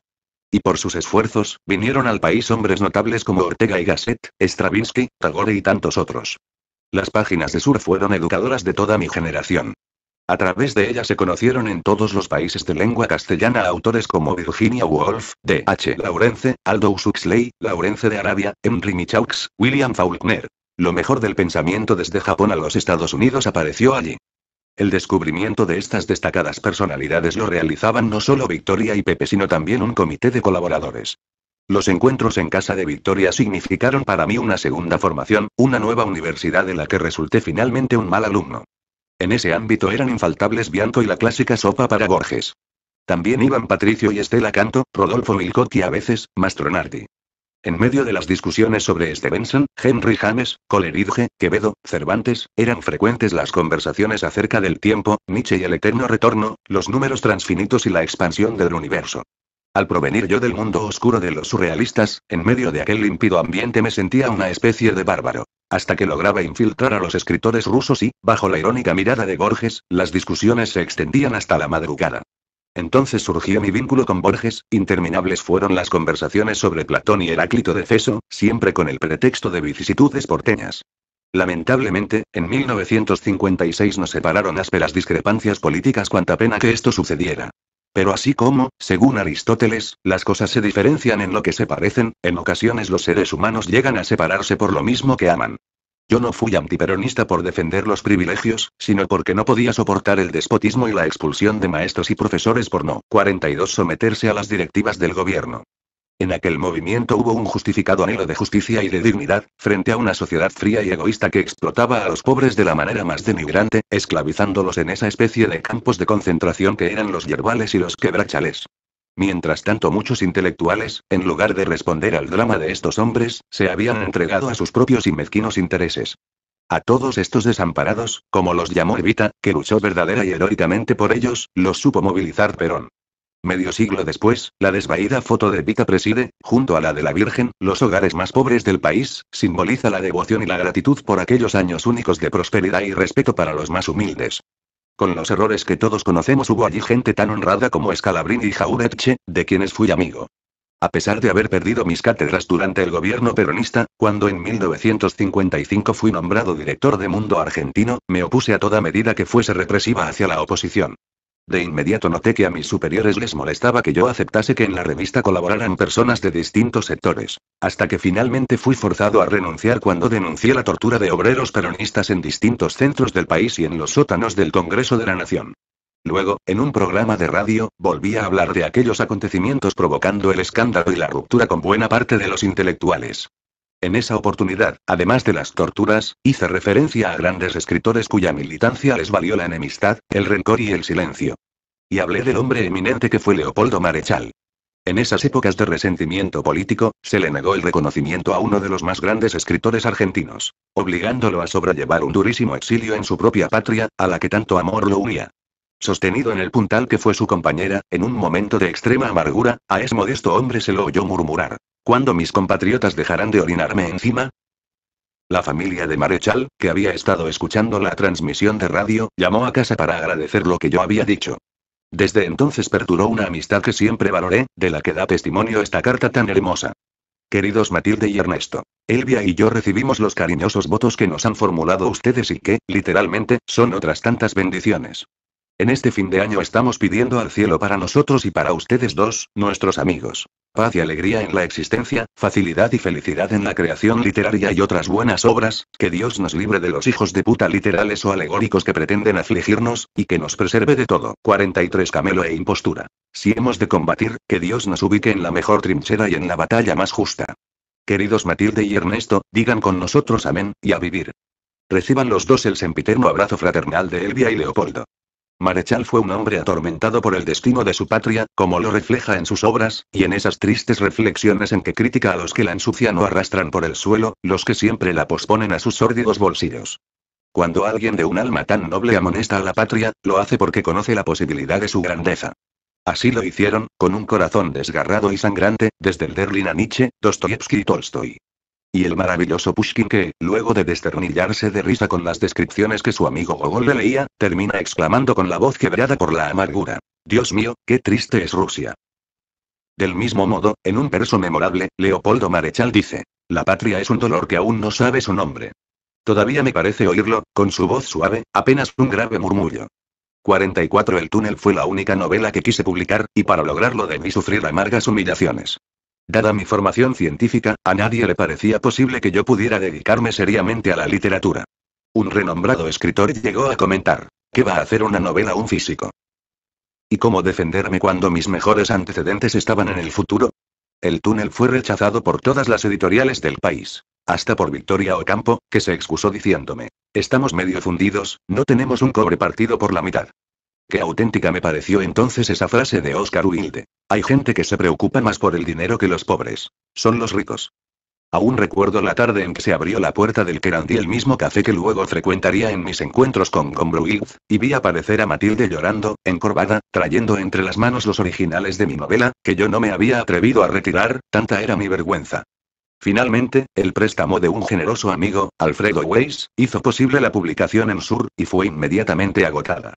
Al año siguiente, recibí la noticia de su edición francesa, gracias a la generosa iniciativa de Camus. París, 13 de junio de 1949 Le agradezco su carta y su novela. Caillois me la hizo leer y me ha gustado mucho la sequedad y la intensidad. He aconsejado a Gallimard que la editen, y espero que el túnel encuentre en Francia el éxito que merece. Hubiera deseado poder decirle todo esto de viva voz, pero la prohibición de una de mis piezas en Buenos Aires me impide dar allí las conferencias previstas. Si, no obstante, llegara a ir a Brasil, trataría de acercarme a título personal a Buenos Aires y me alegraría entonces conocerlo. De aquí a entonces, cuente con toda mi simpatía fraternal. Albert Camus cuánto le debo a aquel escritor genial, con quien compartiría luego inquietudes metafísicas y éticas. En muchas oportunidades se ha hablado de su nihilismo. En todo caso, fue esa clase de nihilista cuya blasfemia es una 45 manera de creer en Dios. Vivía un idealismo desesperado, fue un hombre lleno de amor y de pasión. Cuando años después comenté la historia en un periódico, Victoria me llamó hecha una furia para recriminarme el oprobioso recuerdo, ya que el libro había sido recibido entusiastamente por uno de los máximos escritores de Francia. Pero, ¿qué es Clavier, como ella hubiera dicho? He hablado acerca de lo importante que ha sido su aporte a nuestra cultura. Pero el mutuo y sincero aprecio que nos teníamos, no me dispensaba del inconveniente de no ser francés. Nunca me he considerado un escritor profesional, los que publican una novela al año. Por el contrario, a menudo, en la tarde quemaba lo que había escrito durante la mañana. Y así, cuentos, ensayos y obras para teatro los he visto consumirse en el fuego, al que también estaba destinado sobre héroes y tumbas. Tantas han sido siempre mis dudas. Por mi propensión a las llamas, hubo veces en las que me arrepentí. Obras que hoy recuerdo con nostalgia, como El hombre de los pájaros y la novela que escribí durante mi periodo surrealista, La fuente muda, título que tomé de un verso de Antonio Machado, y de la que sobreviven pocos capítulos y algunas ideas. Quienes conocen mis reticencias y contradicciones, saben lo difícil que es soportarme en cualquier empresa. Así lo sufrieron todos los que, desde distintas partes del mundo, me han solicitado autorización para trabajar en mis novelas, para realizar películas o adaptaciones de teatro, desde grandes realizadores hasta compañías independientes. Piazzolla quiso hacer una ópera, sobre una adaptación de mi novela sobre héroes y tumbas. Proyecto que, a causa de mis cavilaciones, solo llegó a realizar una hermosa introducción. Lamentablemente, en estos tiempos en que se ha perdido el valor de la palabra, también el arte se ha prostituido, y la escritura se ha reducido a un acto similar al de imprimir papel moneda. Como he dicho en El escritor y sus fantasmas. Quedan los pocos que cuentan. Aquellos que sienten la necesidad oscura pero obsesiva de testimoniar su drama, su desdicha, su soledad. Son los testigos, los mártires de una época. Están destinados a una misión superior, no pertenecen a ninguna capilla literaria o cenáculo y, por eso, no tienen como fin tranquilizar a individuos encerrados en una sacristía, sino el de derribar todas las conveniencias, devolviéndonos el sentido de nuestra trágica condición humana. En esta vocación, muchos han sido empujados a la locura, a las drogas, o a tantas otras formas del suicidio. Recuerdo cuando el doctor Cárcamo me decía que debía empezar urgentemente una terapia psicoanalítica, porque estaba al borde de la locura. Seguramente se preocupaba de verdad, porque era un buen hombre, pero yo le respondí que solo me salvaría el arte. Nunca sabremos la angustia con que Beethoven compuso su última y maravillosa sinfonía, o los momentos de soledad en que crearon sus obras los grandes compositores. Por eso, si el fracaso es triste, el fracaso en el arte es siempre trágico. 46 Emocionadamente he estado en varias ocasiones en la tumba de Van Gogh, aquel desdichado que nunca pudo vender un cuadro, y de quien ahora se disputan sus obras en millones de dólares, para ser exhibidas en un supermercado. Pobre Vincent. Habitado por Dios y por el demonio, humilde y bondadoso, que iba a predicar el evangelio a los mineros y que a la vez violentamente atacaba a Gauguin que recogía a pobres prostitutas de la calle, como aquella con un chiquito, para ser su modelo, y terminaba llevándola a vivir con él, probablemente porque la comprendía, ya que los dos sufrían el mismo desamparo. Como señala Artaud, otro poseído a quien siempre admiré, Van Gogh murió suicidado por una sociedad que no podía seguir soportando sus terribles revelaciones. ¿Cómo dudar que Artaud estaba hablando también de sí mismo? En una carta a su médico, luego de terribles electroshocks, declaró sentirse tratado como un alienado y maltratado a raíz de un gesto, de una actitud, de una manera de hablar y de pensar que fueron en la vida las de un hombre de teatro, del poeta y del escritor que yo era. Finalmente murió como un perro. El jardinero lo encontró una mañana, sentado en su cama con un zapato en la mano. Jamás sabremos hacia dónde se dirigía aquel día de su última soledad. Por eso, la raza de artistas a la que siempre he admirado es aquella a la que pertenecen estos hombres. Quienes han unido a su actitud combatiente una grave preocupación espiritual, y en la búsqueda desesperada del sentido, han creado obras cuya desnudez y desgarro es lo que siempre imaginé como única expresión para la verdad. 47 hacia Epifanías de qué enigmáticos dioses me conducía el destino. Porque, a los 30 años, cuando la ciencia me aseguraba un futuro tranquilo y respetable, abandoné todo a cambio de un páramo oscuro y solitario? No lo sé. Una y otra vez, como un náufrago en medio de oscuras tempestades, partí con rumbo insospechado sin divisar siquiera la existencia de una isla remota. Al mirar hacia atrás, reitero nuevamente aquel ruego de Baudelaire. Oh, Señor. Dadme la fuerza y el coraje de contemplar sin asco mi cuerpo y mi corazón. Aunque terrible es comprenderlo, la vida se hace en borrador, y no nos es dado corregir sus páginas. Y cuando leo la carta que me envió una chica de 19 años en la que dice que me admira, y que a pesar de vivir a pocas cuadras, nunca se atrevió a acercárseme, siento vergüenza. Qué hermosa carta. Tan noble, y a la vez tan triste. Dice que la ayudo a vivir, que está pintando, y que le gustaría mostrarme algún día lo que hace. Cuando pasa por mi casa y ve el jardín abandonado, siempre sueña con encontrarme. Y yo me siento avergonzado, porque me pone tan arriba cuando quizá valgo mucho menos que ella, tan pura, tan genuina. En cambio yo, un ser plagado de gravísimos defectos, con personajes tan siniestros como Fernando Viral Olmos. Pero también temblé escribiendo esos fragmentos donde aparecen seres infinitamente bondadosos como Hortensia Paz, el camionero Busicho el loco Barragán, el profeta de barrio. Aquellos seres modestos, esos analfabetos llenos de bondad, y los jóvenes con su candorosa esperanza, son los que me salvarán. En cambio, todo lo otro, las precarias hipótesis, las ideas y teorías de los ensayos, no sirven para justificar la existencia. Y entonces, cuando el final se aproxima, al repasar tramos de una larga travesía, puedo afirmar que pertenezco a esa clase de hombres que se han formado en sus tropiezos con la vida. De manera que, cuando algún exegeta habla de mi filosofía, no puedo sino turbarme, porque tengo la misma relación con un filósofo que la existente entre un guerrillero y un general de carrera. O quizá, mejor, entre un geógrafo y un aventurero explorador cuya intuición le sugiere la búsqueda de un tesoro en lo más profundo de la selva malaya, del que tiene ambiguas noticias, ni siquiera la seguridad de su existencia. En el arduo trayecto contemplé lugares maravillosos, pero también, 48 tuve que enfrentarme con seres siniestros y obstáculos casi insuperables, y caí una y otra vez. Desesperado por no dar con el tesoro, descreyendo de mi capacidad para encontrarlo entre tanta penuria, perdí reiteradamente la fe. Digo la verdad cuando afirmo que desconozco otras regiones, que mi ignorancia de otras realidades es innumerable, pero en cambio puedo reivindicar la búsqueda apasionada en el camino que seguí. Y quizás sea el fin. 50 hora de duelo, taciturna mirada del sol, es el alma un extraño en la tierra. Georg veo las noticias y corroboro que es inadmisible abandonarse tranquilamente a la idea de que el mundo superará sin más la crisis que atraviesa. El desarrollo facilitado por la técnica y el dominio económico han tenido consecuencias funestas para la humanidad. Y como en otras épocas de la historia, el poder, que en un principio parecía el mejor aliado del hombre, se prepara nuevamente para dar la última palada de tierra sobre la tumba de su colosal imperio. Indudablemente, cada generación se cree destinada a rehacer el mundo. La mía sabe, sin embargo, que no podrá hacerlo. Pero su tarea es quizá mayor. Consiste en impedir que el mundo se deshaga heredera de una historia corrupta en la que se mezclan las revoluciones fracasadas, las técnicas enloquecidas, los dioses muertos y las ideologías extenuadas, en la que poderes mediocres, que pueden hoy destruirlo todo, no saben convencer, en que la inteligencia se humilla hasta ponerse al servicio del odio y de la opresión en el ocaso del siglo XX, ¿cómo dudar de la veracidad de estas palabras de Camus? Sin embargo, hay quienes pretenden seguir hablando acerca del progreso de la historia, en un acto suicida que pretende mirar de soslayo el patético legado racionalista. La historia no progresa. Fue el gran Jean Battista Vico el que lo dijo. Corsi Corsi. La historia está regida por un movimiento de marchas y contramarchas, idea que retomó Schopenhauer y luego, Nietzsche. El progreso es únicamente válido para el pensamiento puro. Las matemáticas de Einstein son evidentemente superiores a las de Arquímedes.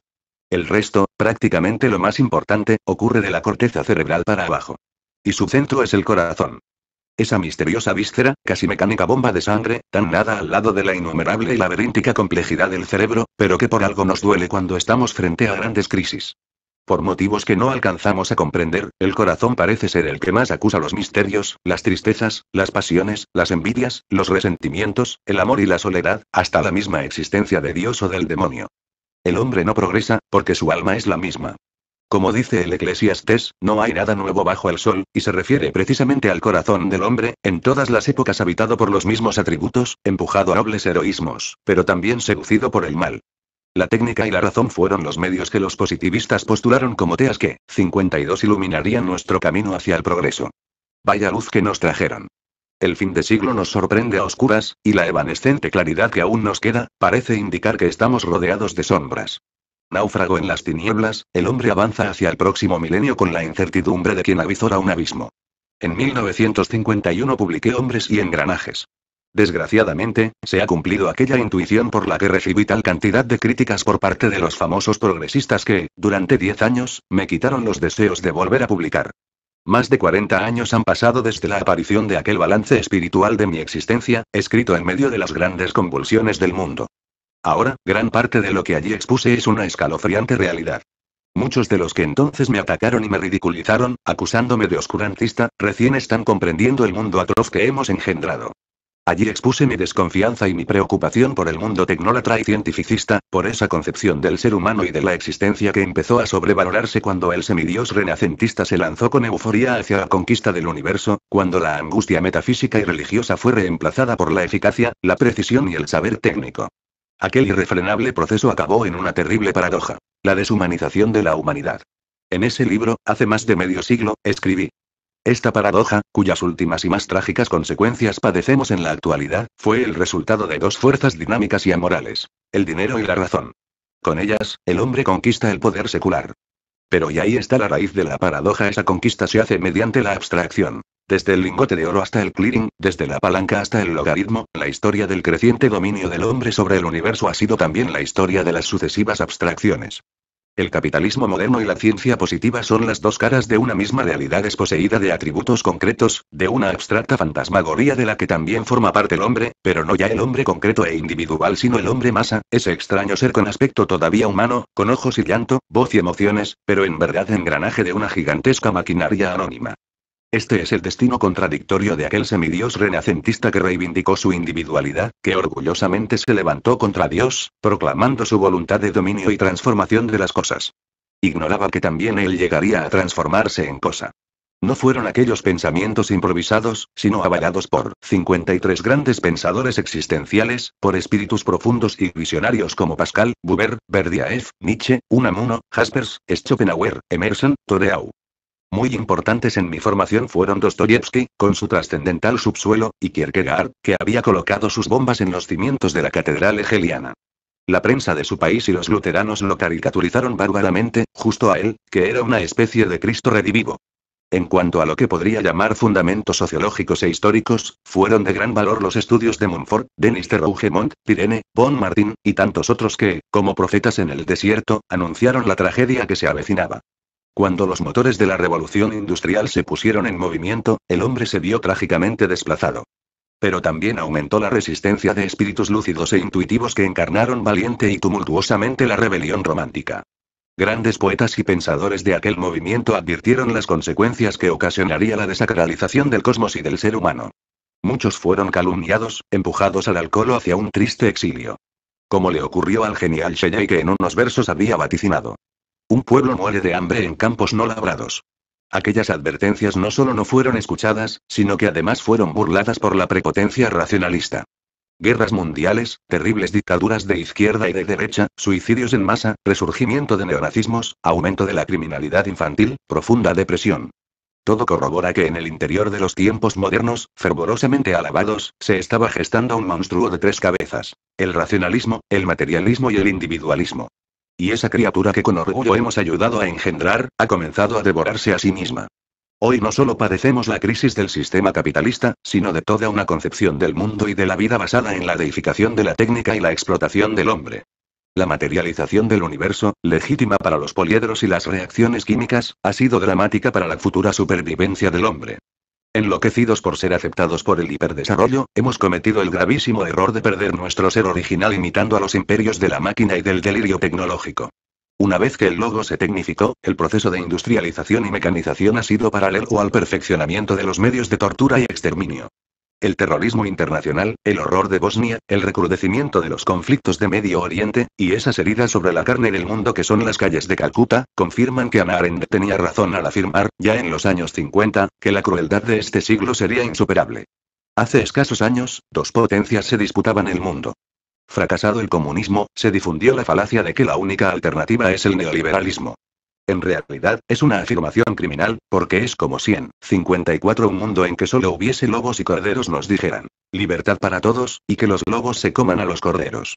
Se habla de los logros de este sistema cuyo único milagro ha sido el de concentrar en una quinta parte de la población mundial más del 80% de la riqueza, mientras el resto, la mayor parte del planeta, muere de hambre en la más sórdida de las miserias. Habría que plantearse qué se entiende por neoliberalismo, porque en rigor, nada tiene que ver con la libertad.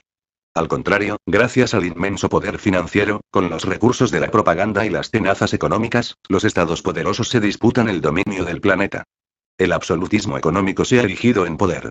Déspota invisible, controla con sus órdenes la dictadura del hambre, la que ya no respeta ideologías ni banderas, y acaba por igual con hombres y mujeres, con los proyectos de los jóvenes y el descanso de nuestros ancianos. Un ejemplo de la deshumanización a que este sistema nos está llevando es Brasil. Mientras 40 millones de hambrientos pueblan el nordeste, en San Pablo hay casi un millón de chiquitos sin hogar, que roban por las calles para poder comer alguna cosa, forzados a prostituirse en su niñez, rematados por 100 o 200 dólares, asesinados por comandos especializados, secuestrados y muertos para vender sus órganos a los laboratorios del mundo. Me contó un sacerdote dominico, profesor de teología en la Universidad de San Pablo, que un estudio elaborado por la Policía Federal reveló que en los últimos tres años, 4.600 niños fueron asesinados en el país. Miles de niños latinoamericanos son exportados desde su país de origen a Europa, los Estados Unidos y Japón. Y hay suficientes indicios que prueban la existencia de criaturas sacrificadas, sobre todo en Brasil, Honduras, Guatemala y México. Trágicamente, la hermana Marta Pelloni me ha mostrado que hechos atroces similares están ocurriendo en la Argentina. Para todo hombre es una vergüenza, un crimen, que existan 250 millones de niños explotados en el mundo. Obligados a trabajar desde los 5, 6 años en oficios insalubres, en jornadas agotadoras por unas monedas, cuando tienen suerte, porque muchos chiquitos trabajan en regímenes de esclavitud o semiesclavitud, sin protección legal ni médica. Estos millones de niños, analfabetos, más flacos, más bajos que nuestros niños que van a las escuelas, sufren enfermedades infecciosas, heridas, amputaciones y vejaciones de todo tipo. Se los encuentra en las grandes ciudades del mundo tanto como en los países más pobres. En América Latina, 15 millones de niños son explotados. Cuando uno se acerca a esta realidad, de inmediato recuerda la historia de 55 los niños que trabajaban en las minas de carbón en épocas de la revolución industrial. Situaciones que parecían definitivamente atrás, están hoy al alcance de nuestros ojos. Representan la involución de las conquistas sociales que se lograron con sangre a través de siglos. Hoy en el mundo ya no hay respeto por las horas de trabajo, por la jubilación, por los derechos a la educación y a la salud. Enfermedades que creíamos vencidas han vuelto. Tuberculosis, sífilis, cólera.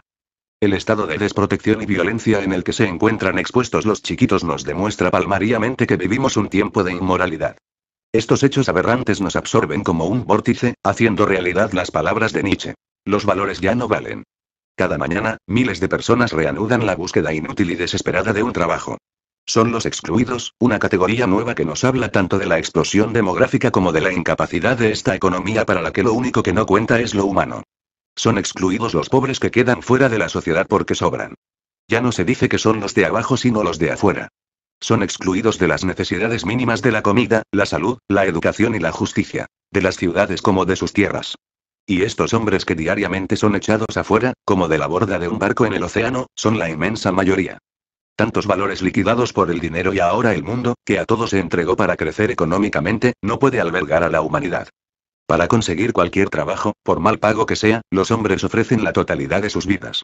Trabajan en lugares insalubres, en sótanos, en barcos factoría, hacinados y siempre bajo la amenaza de perder el empleo, de quedar excluidos. Al parecer, la dignidad de la vida humana no estaba prevista en el plan de globalización. La angustia es lo único que ha alcanzado niveles nunca vistos. Es un mundo que vive en la perversidad, donde unos pocos contabilizan sus logros sobre la amputación de la vida de la inmensa mayoría. Se ha hecho creer a algún pobre diablo que pertenece al primer mundo por acceder a los innumerables productos de un supermercado. Y mientras aquel pobre infeliz duerme tranquilo, encerrado en su fortaleza de aparatos y cachivaches, miles de familias deben sobrevivir con un dólar diario. Son millones los excluidos del gran banquete de los economicistas. Cuando por la calle veo tantos negocios cerrados, o vecinos del barrio me detienen para decirme que no podrán seguir manteniendo su tallercito, que no les rinden las ganancias para cubrir los impuestos, pienso en la corrupción y la impunidad, en el grosero despilfarro y en la opulencia amoral de unos cuantos individuos, y tengo la sensación de que estamos en el hundimiento de un 56 mundo donde, a la vez que cunde la desesperación, aumenta el egoísmo y el sálvese quien pueda. Mientras los más desafortunados sucumben en la profundidad de las aguas, en algún rincón ajeno a la catástrofe, en medio de una fiesta de disfraces siguen bailando los hombres del poder, ensordecidos en sus bufonadas. 57 La educación pública creada por los grandes intelectuales que nos gobernaron en el siglo pasado, que tuvieron la iniciativa de construir una educación primaria libre, gratuita y obligatoria es el fundamento de esta nación hoy en derrumbe. En esas escuelitas de mi infancia, humildes maestras nos enseñaban a ser buscadores de la verdad, como la negra Uzán, india, hija de un domador, que nos mantenía al trote, pero que a la vez, supo educarnos con cariñosa disciplina.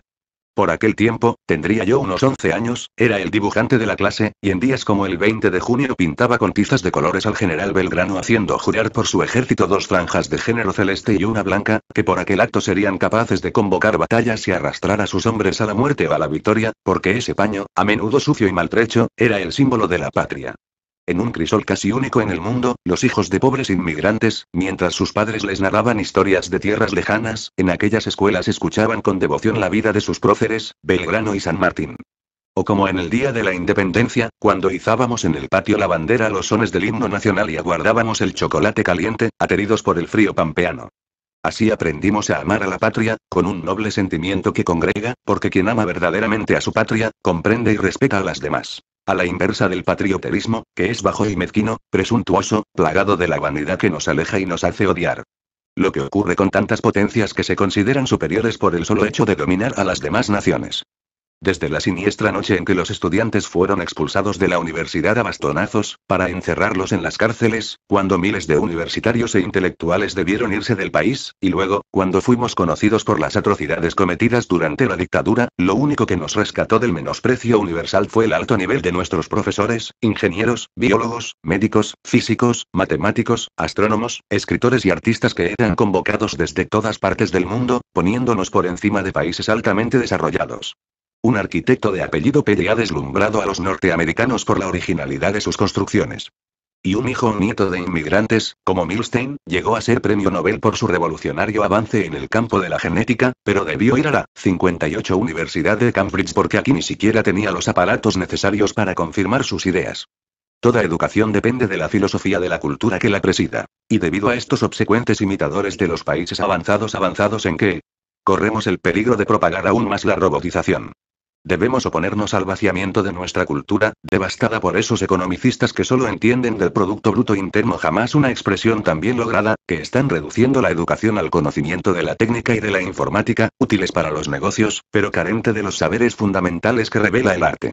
Esta educación es solo accesible a quienes queden incluidos dentro de los muros de nuestra sociedad, ya que el mundo de la técnica y la informática, que supuestamente nos iba a acercar unos a otros, significó, para la inmensa mayoría, un abismo insalvable. En esta primavera de 1998, esperando las primeras luces del amanecer, que siempre o casi siempre, renuevan una esperanza, medito en este país destruido y ensuciado por los gobernantes y la mayor parte de los políticos. Tan lejos, tanto, de la Argentina de mi adolescencia, con extraordinarias universidades que grandes hombres ha dado al mundo, pero que hoy es apenas la ruina de un hermosísimo castillo. Por todo esto, en distintas oportunidades he visitado a los maestros que desde hace más de un año ayunan en la Carpa Blanca, frente al Congreso. Símbolo conmovedor de esa reserva que salvará al país, si logramos recuperar los valores éticos y espirituales de nuestros orígenes. La educación es lo menos material que existe, pero lo más decisivo en el porvenir de un pueblo, ya que es su fortaleza espiritual. Y por eso es avasallada por quienes pretenden vender al país como oficinas de los grandes consorcios extranjeros. Sí, queridos maestros, continúen resistiendo, porque no podemos permitir que la educación se convierta en un privilegio. 59 Los excluidos no tienen justicia que los defienda. He ido a la vida 31, de retiro, para solidarizarme con los sacerdotes que ayunan en repudio por la crueldad con que se pretendió echar a la gente, derribando sus precarias construcciones con salvajes topadoras. Al regresar a casa, durante la noche he podido ver por televisión cómo se agredía a unos obreros que se negaban a desalojar una fábrica, golpeados con violencia, tratados como delincuentes por una sociedad que no considera un delito negarles a los hombres su derecho al trabajo, expropiándoles, incluso, hasta las pocas leyes laborales que los protegían. También he visto a la policía corriendo con palos y tanques hidráulicos a vendedores ambulantes, en lugar de encarcelar a los que se están robando hasta las últimas monedas y tienen dinero y poder para comprar a esa justicia que cae con despiadada dureza sobre un pobre ladrón de gallinas. Como el muchacho que me escribió desde una cárcel cordobesa pidiéndome un ejemplar del nunca más autografiado. Mientras ese hombre estaba preso por un delito menor, en un gesto aberrante se puso en libertad a los culpables de haber desangrado a la patria. Con gran amargura, la tarde en que escuché la noticia de los indultos, me encerré en mi estudio sin deseos de ver a nadie, mientras volvían a mi mente las imágenes del horror, aquellos escenarios del suplicio. En los años que precedieron al golpe de Estado de 1976, hubo actos de terrorismo que ninguna comunidad civilizada podría tolerar. Invocando esos hechos, criminales de la más baja especie, y representantes de fuerzas demoníacas, desataron un terrorismo infinitamente peor, porque se ejerció con el poderío e impunidad que permite el Estado absoluto, iniciándose una caza de brujas que no solo pagaron los terroristas, sino miles y miles de inocentes. Cuando el país amaneció de esa pesadilla, el presidente Alfonsín, en su condición de jefe supremo de las Fuerzas Armadas, ordenó a los tribunales militares enjuiciar a los culpables de ese histórico horror. Luego, como estatuye la Constitución, el fuero civil daría la última palabra. Finalmente se nombró una comisión de civiles que, a través de una investigación paralela, aportó pruebas a la labor de los tribunales. El horror que día a día íbamos descubriendo, dejó a todos los que integramos la CONADEP, la oscura sensación de que ninguno volvería a ser el mismo, como suele ocurrir cuando se desciende a los infiernos. Siempre recordaré la entereza ética y espiritual de las personalidades de la ciencia, la 60 filosofía, varias religiones y el periodismo, que integraron la comisión. El informe era transcrito por dactilógrafas que debían ser reemplazadas cuando, entre llantos, nos decían que les era imposible continuar su labor. En más de 50.000 páginas quedaron registradas las desapariciones, torturas y secuestros de miles de seres humanos, a menudo jóvenes idealistas, cuyo suplicio permanecerá para siempre en el lugar más desgarrado de nuestro corazón. El terrorismo de Estado provocó también la destrucción de las familias de los desaparecidos. Padres y madres, en su atormentada fantasía, enterraron y resucitaron a sus hijos, sin saber, siquiera, la monstruosa realidad. Será difícil calcular cuántos padres murieron o se dejaron morir de angustia y de tristeza, cuántos otros enloquecieron. Como ocurrió con Miguel Sixon, mi gran amigo, que en sus años finales tuvo como único objetivo recuperar a su hija, lograr alguna vez la verdad y la justicia. Pero el enfrentamiento con aquel horror, hecho de la crueldad de unos y la indiferencia de otros, acabó quebrando su admirable temple. Se dejó morir de tristeza. El día en que la CONADEP entregó el informe al presidente de la nación, la plaza de Mayo desbordaba de hombres, mujeres, jóvenes y madres con sus criaturas en brazos, que de ese modo daban su apoyo a aquel acontecimiento fundamental de nuestra historia. Ya que nunca más deberíamos reiterar los hechos que nos hicieron trágicamente famosos, cuando la prensa del mundo entero escribía en castellano la palabra desaparecido. Lamentablemente, las leyes de obediencia de vida y de punto final, y luego los indultos, han abortado aquella voluntad soberana que hubiese sido un ejemplo de lucha ética, que hubiera tenido consecuencias ejemplares para el futuro de nuestra patria. Porque la tragedia que vivió la Argentina no será olvidada jamás por los que poseen un corazón noble. No solo por quienes han presenciado aquel infierno, sino también por la condena de todos los seres de conciencia del mundo. Como lo demuestra la investigación que en otros países llevan adelante seres como el juez Baltázar Garzón, con quien estuve durante mi último viaje a España. La sangre, el horror y la violencia cuestionan a la humanidad entera, y nos demuestran que no podemos desentendernos del sufrimiento de ningún ser humano. Con qué indignación he visto, en un día de huelga nacional, con despótica soberbia, a la policía arrojando al suelo la comida que unos obreros preparaban en sus ollas populares. Y entonces me pregunto en qué clase de sociedad vivimos, qué democracia tenemos donde los corruptos viven en la impunidad, y al hambre de los pueblos se la considera subversiva. 61 también de sus tierras han sido excluidos los hombres. Hace unos años estuve con los indios wichis en la plaza del Congreso. Desde hacía una semana, realizaban una huelga de hambre en reclamo por las tierras que, como a tantas comunidades indígenas, les fueron usurpadas desde el tiempo de la conquista, víctimas de un genocidio que se realizó a fuerza de guerras, epidemias desconocidas y el infaltable cautiverio. Desde entonces, el sometimiento y el maltrato que reciben en todo el continente los obliga a sobrevivir en miserables reservas, incapacitados para satisfacer sus necesidades básicas de alimentación, salud, vivienda y educación. Hoy, uno de los graves problemas que muchas de estas comunidades deben afrontar, bajo un riesgo vertiginoso y destructivo, es la necesidad de emigrar hacia las grandes ciudades, donde viven alienados, impulsados por el hambre pero también por descabelladas ilusiones, como sucedió en Lima, que en los últimos 20 años triplicó su población por la llegada de indígenas.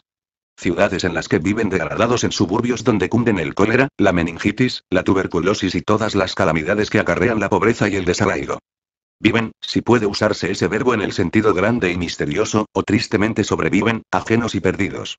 Aquí mismo, a Buenos Aires, capital de un país que en un tiempo fue casi desierto, con pocas comunidades autóctonas, están llegando millares de indios bolivianos y paraguayos que atraviesan la frontera y que son esclavizados en trabajos clandestinos, por falta de documentos.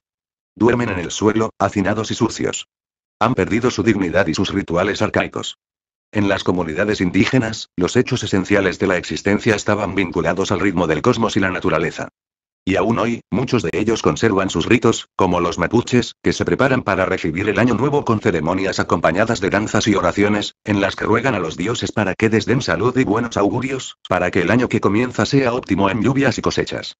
En cambio, los ritos y las tradiciones de nuestras sociedades se han desvirtuado, o se han convertido en simulacros en los que ya nadie cree, consecuencia del barbarismo tecnológico.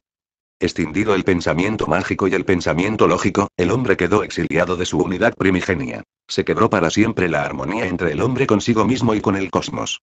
62 Hace tiempo vi una extraordinaria película de Emir Kusturica sobre la desaparición de Yugoslavia. Me impresionó el desgarro con que muestra la crueldad de ese exterminio.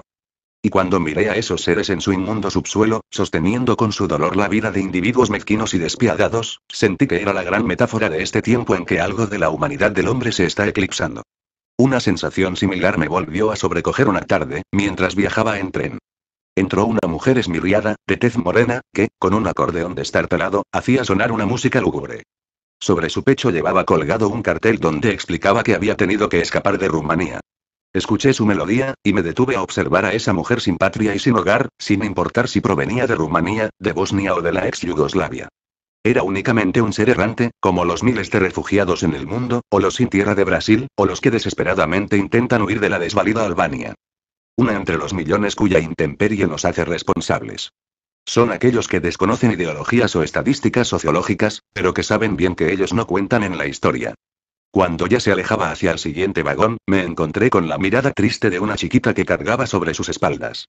Me hizo pensar en lo que está sucediendo. Un mundo que parece marchar hacia su desintegración, mientras la vida nos observa con los ojos abiertos, hambrientos de tanta humanidad. 63 me estremeció una noticia que leí esta mañana en el diario. La recorté y la guardé en uno de los cajones de mi archivo, entre esos tantos retazos que en estos años me han ayudado a vivir. Una mujer, en un crudo invierno, apenas con una remera y un pantalón, se escapó del hospital psiquiátrico con el deseo de ir a buscar a su compañero. Aprovechando la distracción del maquinista, robó una locomotora y, haciéndola funcionar sin dificultad, comenzó su odisea. Él había trabajado en el ferrocarril y le había enseñado a conducir trenes y muchas cosas más.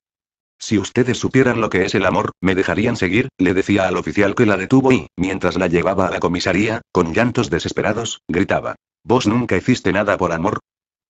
Cuanto más humanos son estos gestos que los de tantos individuos que corren por la ciudad enceguecidos con sus proyectos. He querido rescatar esta historia de entre mis papeles, ya que de alguna manera, cuando el razonamiento nos conduce al borde de la psicosis colectiva, estos actos son lo más parecido a una salvación. 64 Los que me quieren me ruegan que no me levante tan temprano, temen por mi salud. Los médicos me revisan, me hacen estudios. En realidad, me estoy humanizando. Es una de las consecuencias del sufrimiento. ¿Sería esto una justificación del dolor? Hoy intenté descansar al menos hasta las 5, pero sobrevino una especie de visión de la que poco a poco comencé a tomarse mi conciencia, algo dislocado, pero que sin embargo se iba imponiendo sobre mí, y así pasé un rato largo debatiéndome entre la realidad y el delirio. Hasta que comencé a dar vueltas en la cama, me destapé y esperé que el frío tranquilizara mis nervios. Algo turbio, relacionado con la realidad que estamos viviendo, desde el inconsciente, como un murmullo, me recordaba lo que estoy pintando en estos últimos años. Esos seres terribles que salen del fondo de mi alma, torres que se desploman, pájaros en cielos incendiados. No sé lo que significan, quizás advertencias, acaso secuelas de lo que sufrí escribiendo ciertos pasajes de mis ficciones, como el informe sobre ciegos. No pude dormir de nuevo, enciendo una linterna y atravieso la oscuridad del estudio. En mi mesa veo los sobres que contienen algunos fragmentos que incluiré en este libro que hago sin premeditación, que me sale del alma, no de mi cabeza, dictado por las preocupaciones y la tristeza de estos años finales. Reviso los papeles, algunos, muchos, se encuentran marcados, tachados con innumerables correcciones. Por la angustia que me produce, intento olvidar esta tarea, pero vuelve reiterada, obsesivamente, como golpes de puño en el interior de mi cabeza. Finalmente me cambio y en el jardín, aguardo el amanecer que se demora bajo un cielo cargado de nubes tormentosas. Paso un tiempo sentado, hasta que Gladys me llama para desayunar, lo hago mientras leo los grandes titulares del diario. La crisis social, el desempleo, la corrupción, la impunidad, el estado general del mundo. Más que suficiente para aumentar la tristeza y el desconcierto. Un subtítulo dice, en una semana 500 personas, en su mayoría mujeres y niños, mueren incinerados en Indonesia. Recuerdo la expresión con que Dante describe el infierno. La sangre mezclada en el llanto, recogida por asquerosos gusanos. Entonces voy a mi estudio y espero la llegada de Diego que, como todas las mañanas, afectuosamente volverá a reanimarme. Conversaremos largamente y luego podremos dar una vuelta por las calles del barrio, o por la estación, hasta que yo pueda recuperar la energía para seguir escribiendo. 65 La gravedad de la crisis nos afecta social y económicamente. Y es mucho más. Los cielos y la tierra se han enfermado. La naturaleza, ese arquetipo de toda belleza, se trastornó. Nuestro planeta se encuentra en estado desolador, y si no se toman medidas urgentes va en camino de ser inhabitable en poco más de tres o cuatro décadas. El oxígeno disminuye de modo irreversible por el ácido carbónico de autos y fábricas, y por la devastación de los bosques. El hombre necesita de los árboles para vivir. Parecen no saberlo o no importarles a quienes están talando las selvas del Amazonas y las grandes reservas del mundo. Los países desarrollados producen 400 millones de toneladas por año de residuos tóxicos. Arsénico, cianuro, mercurio y derivados del cloro, que desembocan en las aguas de los ríos y los mares, afectando no solo a los peces, sino también a quienes se alimentan de ellos. Solo unos pocos gramos de intoxicación son mortales para el ser humano. Corremos el riesgo de consumir vegetales rociados con plaguicidas que dañan al hígado y a los riñones y producen desórdenes sanguíneos, leucemia, tiroidismo. Afectan también al sistema nervioso central y a los ojos. Entre esos plaguicidas se encuentra el terrible veneno llamado agente naranja. Los científicos aún no nos han explicado de qué manera vamos a sobrevivir a la radiactividad expandida por el efecto de los reactores nucleares. 8 millones de seres humanos todavía sufren las consecuencias de la tragedia atómica de Chernóbil. Durante su visita a la Argentina, conversé largamente sobre estos temas con el presidente de la ex Unión Soviética, Mikhail Gorbachev, ya que los científicos de su país arrojaron los corazones de una gran cantidad de reactores al mar Báltico, ¿acaso pensaban apagarlos? Entre estos desechos se encuentran productos temibles como el plutonio, siniestra referencia a Plutón, dios griego del infierno. Desconocemos lo que en verdad han hecho, por su parte, los países más desarrollados, pero es alarmante la indiferencia con que han respondido a los reclamos de destacados organismos ecologistas, como Greenpeace. Parece no contar que estamos al borde de la destrucción física del planeta, tal es el individualismo y la codicia. A pesar del alto riesgo que significan los productos radiactivos, su almacenamiento sigue constituyendo un inestimable agente de control. Los países más desvalidos, como la India, o se proclaman orgullosamente como nueva potencia nuclear, o corren el riesgo de ser vendidos como basureros. 66 atómicos. Algo que en reiteradas oportunidades estuvo a punto de sucederle a nuestro país. Otro peligro para tener en cuenta es el agujero de ozono, agujero que ya tiene el tamaño del continente africano. Además del recalentamiento del planeta, consecuencia de la emisión de gases industriales y del efecto invernadero, está en peligro el futuro de los países insulares debido al crecimiento del nivel de los ríos y mares. Sin olvidar las especies en extinción. Se calcula que 70 especies desaparecen por día. En la antigüedad, según Berdiaev, el proyecto del universo humano era también tarea de fuerzas divinas. Desacralizada la existencia y aplastados los grandes principios éticos y religiosos de todos los tiempos, la ciencia pretende convertir los laboratorios en vientres artificiales. ¿Se puede pensar algo más infernal que la clonación? ¿Podemos seguir día a día cumpliendo con tareas de tiempos de paz, cuando a nuestras espaldas se está fabricando la vida artificialmente? Nada queda por ser respetado. A pesar de las atrocidades ya a la vista, el hombre avanza perforando los últimos intersticios donde se genera la vida. Con grandes titulares se nos informa que la clonación es ya un éxito. Y nosotros, todos los hombres del planeta que no queremos esta profanación última de la naturaleza, ¿qué podemos hacer frente a la inmoralidad de quienes nos someten? La humanidad ha recibido una naturaleza donde cada elemento es único y diferente. Únicas y diferentes son todas las nubes que hemos contemplado en la vida, las manos de los hombres y la forma y el tamaño de las hojas, los ríos, los vientos y los animales. Ningún animal fue idéntico a otro. Todo hombre fue misteriosa y sagradamente único. Ahora, el hombre está al borde de convertirse en un clon por encargo. Ojos celestes, simpático, emprendedor, insensible al dolor o trágicamente, preparado para esclavo. Engranajes de una máquina, factores de un sistema, que lejos, Derlin, de cuando los hombres se sentían hijos de los dioses. Los jóvenes lo sufren. Ya no quieren tener hijos. No cabe escepticismo mayor. Así como los animales en cautiverio, nuestras jóvenes generaciones no se arriesgan a ser padres. Tal es el estado del mundo que les estamos entregando. La anorexia, la bulimia, la drogadicción y la violencia son otros de los signos de este tiempo de angustia ante el desprecio por la vida de quienes nos mandan. ¿Cómo podríamos explicarles a nuestros abuelos que hemos llevado la vida a tal situación que muchos de los jóvenes se dejan morir porque no comen o vomitan los alimentos? Por falta de ganas de vivir o por cumplir con el mandato que nos inculca la televisión. La flacura histérica. 67 cientos de miles de jóvenes son drogadictos. Andan como bandas por las plazas del mundo. Todo hace pensar que la Tierra va en camino de transformarse en un desierto superpoblado. No es casual que en una de las últimas cumbres ecológicas se hayan previsto guerras, en un futuro no muy lejano, para la obtención de agua potable. Este paisaje fúnebre y desafortunado es obra de esa clase de gente que se ha reído de los pobres diablos que desde hace tantos años lo veníamos advirtiendo, aduciendo que eran fábulas típicas de escritores, de poetas fantasiosos. Según esa inversión semántica que traen las lenguas, el epíteto de realistas señala a individuos que se caracterizan por destruir todo género de realidad, desde la más candorosa naturaleza, hasta el alma de hombres y de niños. Si bien los optimistas impertérritos arguyen que la humanidad ha sabido siempre sobreponerse a los bárbaros acontecimientos, de ninguna manera estamos en condiciones de poder confiar en esta clase de sofismas. En primer lugar, porque hay civilizaciones enteras que jamás se recuperaron, y en segundo, porque atravesamos una crisis total y planetaria. Ya hace unos años, la capacidad destructiva del mundo era 5.000 veces superior a la que había en la época de la Segunda Guerra Mundial, el poder de las bombas atómicas en reserva superaba un millón de veces a la bomba que destrozó Hiroshima. Un chiquito muere de hambre cada dos segundos. Lo criminal es que con el medio por ciento del gasto de armamento se podría resolver el problema alimentario de todo el mundo.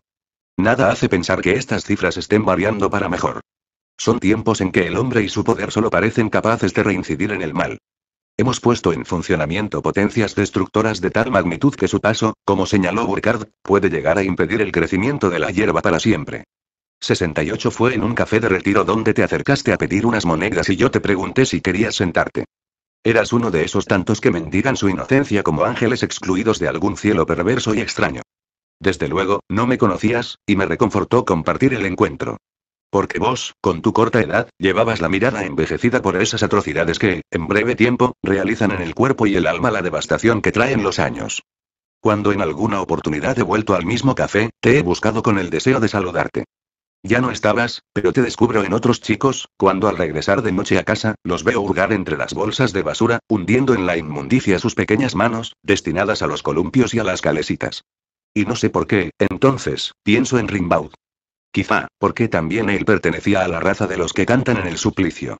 Rimbaud, que en las calles de París se alimentaba con los mendrugos que sacaba de la basura, y que dormía por las noches acurrucado en los portales. Recordé sus palabras. La verdadera vida está ausente.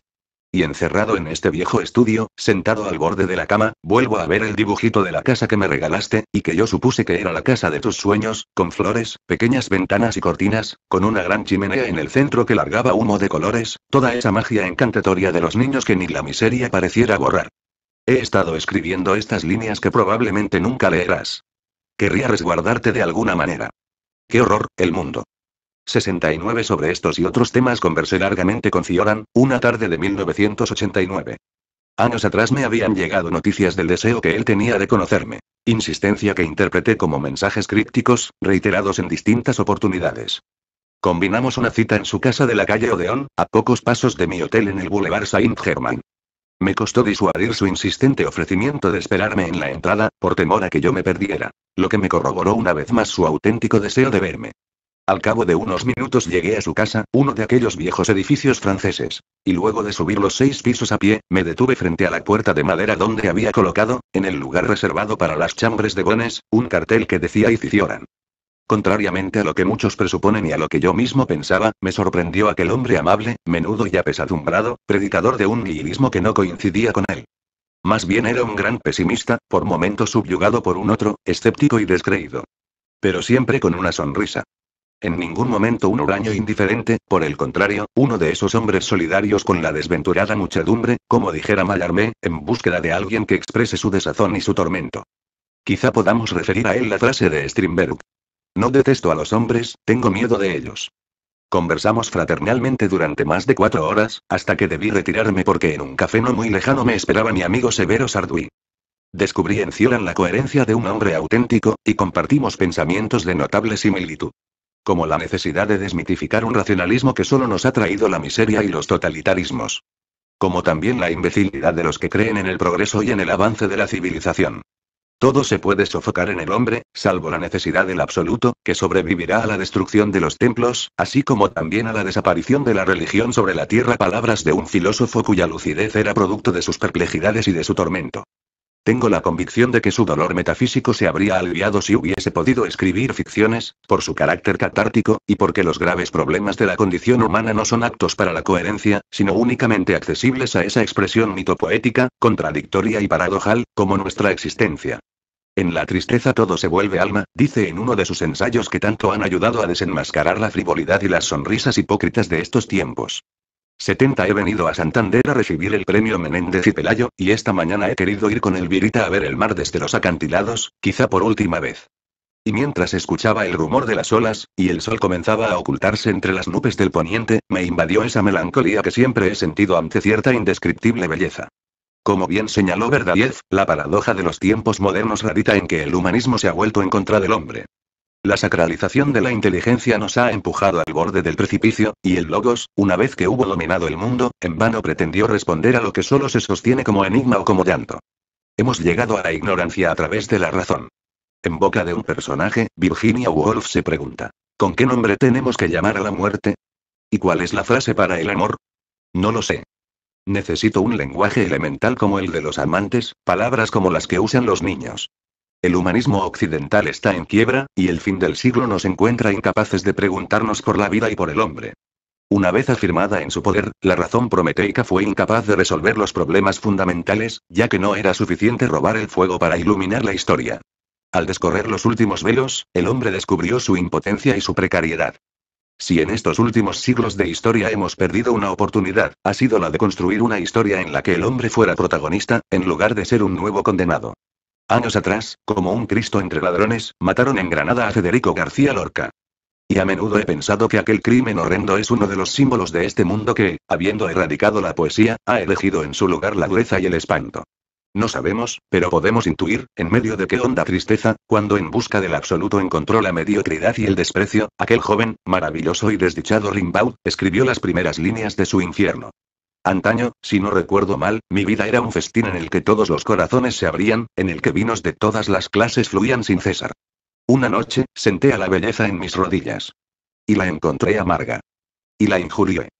71 Cuando camino por una plaza, al contemplar la nobleza de los jacarandáes, o cuando veo aquellos rostros inefables que siguen estremeciéndose ante un cielo tormentoso, o los que aún tiemblan al pronunciar palabras sublimes, pienso entonces en la desdicha de los hombres destinados a la belleza, pero forzados a sobrevivir en la banalidad de esta cultura donde lo que alguna vez fue sentido, ha degenerado en burda diversión, en estimulantes o patéticos objetos decorativos. Triste epílogo de un siglo destrozado entre los delirios de la razón y la crueldad del acero. Elie Wiesel ha dicho que en Auschwitz murió el hombre y la idea del hombre. Es lo que ha ocurrido en las épocas en las cuales pareciera haberse producido una ruptura, un corte tal, que corremos el riesgo de ser absorbidos por el vacío.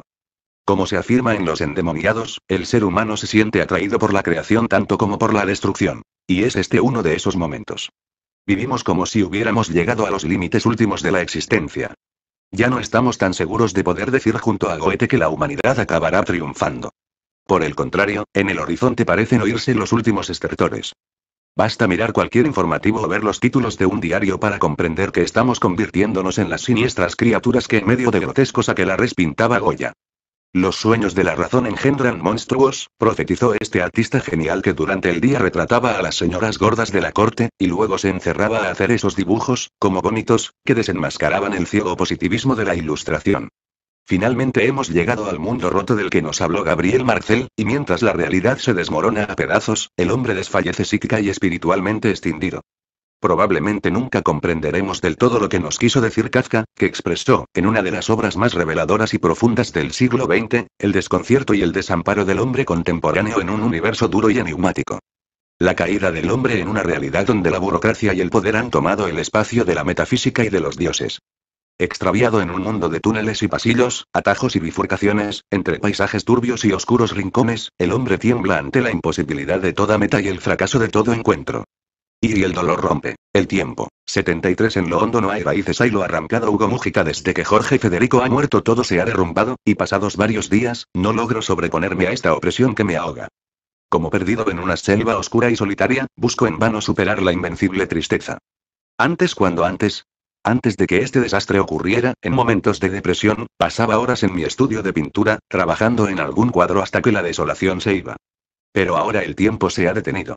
La angustia permanece y me siento abandonado en el inconmensurable desierto de estas cuatro paredes. Embriagado de dolor, entre las ruinas de mi mente, resuenan lejanos unos versos de Vallejo. Hay golpes en la vida tan duros, golpes como del odio de Dios. La tarde desaparece imperceptiblemente, y me veo rodeado por la oscuridad que acaba por agravar las dudas, los desalientos, el descreimiento en un Dios que justifique tanto dolor. Los tonos de la tarde me invaden con extrañas presencias que antes no percibía. Ya los cantos de los pájaros son otros, o ninguno. Una luz crepuscular se derrama sobre cada objeto, como si los elevara a una realidad nueva, ahora transfigurada por el sufrimiento. Una suave lluvia de otoño cae sobre el jardín, y también sobre pájaros y árboles que, ¿quién podrá saberlo? Quizá meditan igual que nosotros. ¿Cuántas parejas, en las calles de este laberíntico Buenos Aires, se acurrucarán protegiéndose del frío, en esos gestos de un amor inexpresable e imposible? Desde la ventana de mi estudio miro hacia el jardín. Los jazmines del cabo, la rosa china, las magnolias y las demás plantas y las flores recuerdan a Jorgito. Y entonces la belleza vuelve a ensombrecerme. Miro, pues, hacia la nada. Observo cosas sin importancia. Una goma de borrar, una lapicera, un calendario, mi reloj. Dios mío, ¿qué es esto? Pasa un Boeing, con estruendo. ¿A dónde va? ¿Para qué? En mi mesa de trabajo miro una arañita que cruza afanosamente, también hacia su destino. Pero, ¿cuál? aunque pequeñita, puede tener un destino chiquito, a su escala. La sigo conmovido, hasta que llega al otro borde y desciende por uno de los hilos de su telaraña. Con cuánta esperanza la sigo observando mientras. 75 desaparece de mi vista aquel ser diminuto que vive sin hacerse tantos planteos, sin esos cuestionamientos que nosotros hacemos para probar que... Mi vida parece ir acabando como el túnel, con ventanales y túneles paralelos, donde todo es infinitamente imposible. Qué extraño, qué terrible es que al acercarse la muerte vuelvan estas tristísimas metáforas. El virita me habla de Cristo. Me dejo alentar por su sentido religioso de la vida, y del dolor.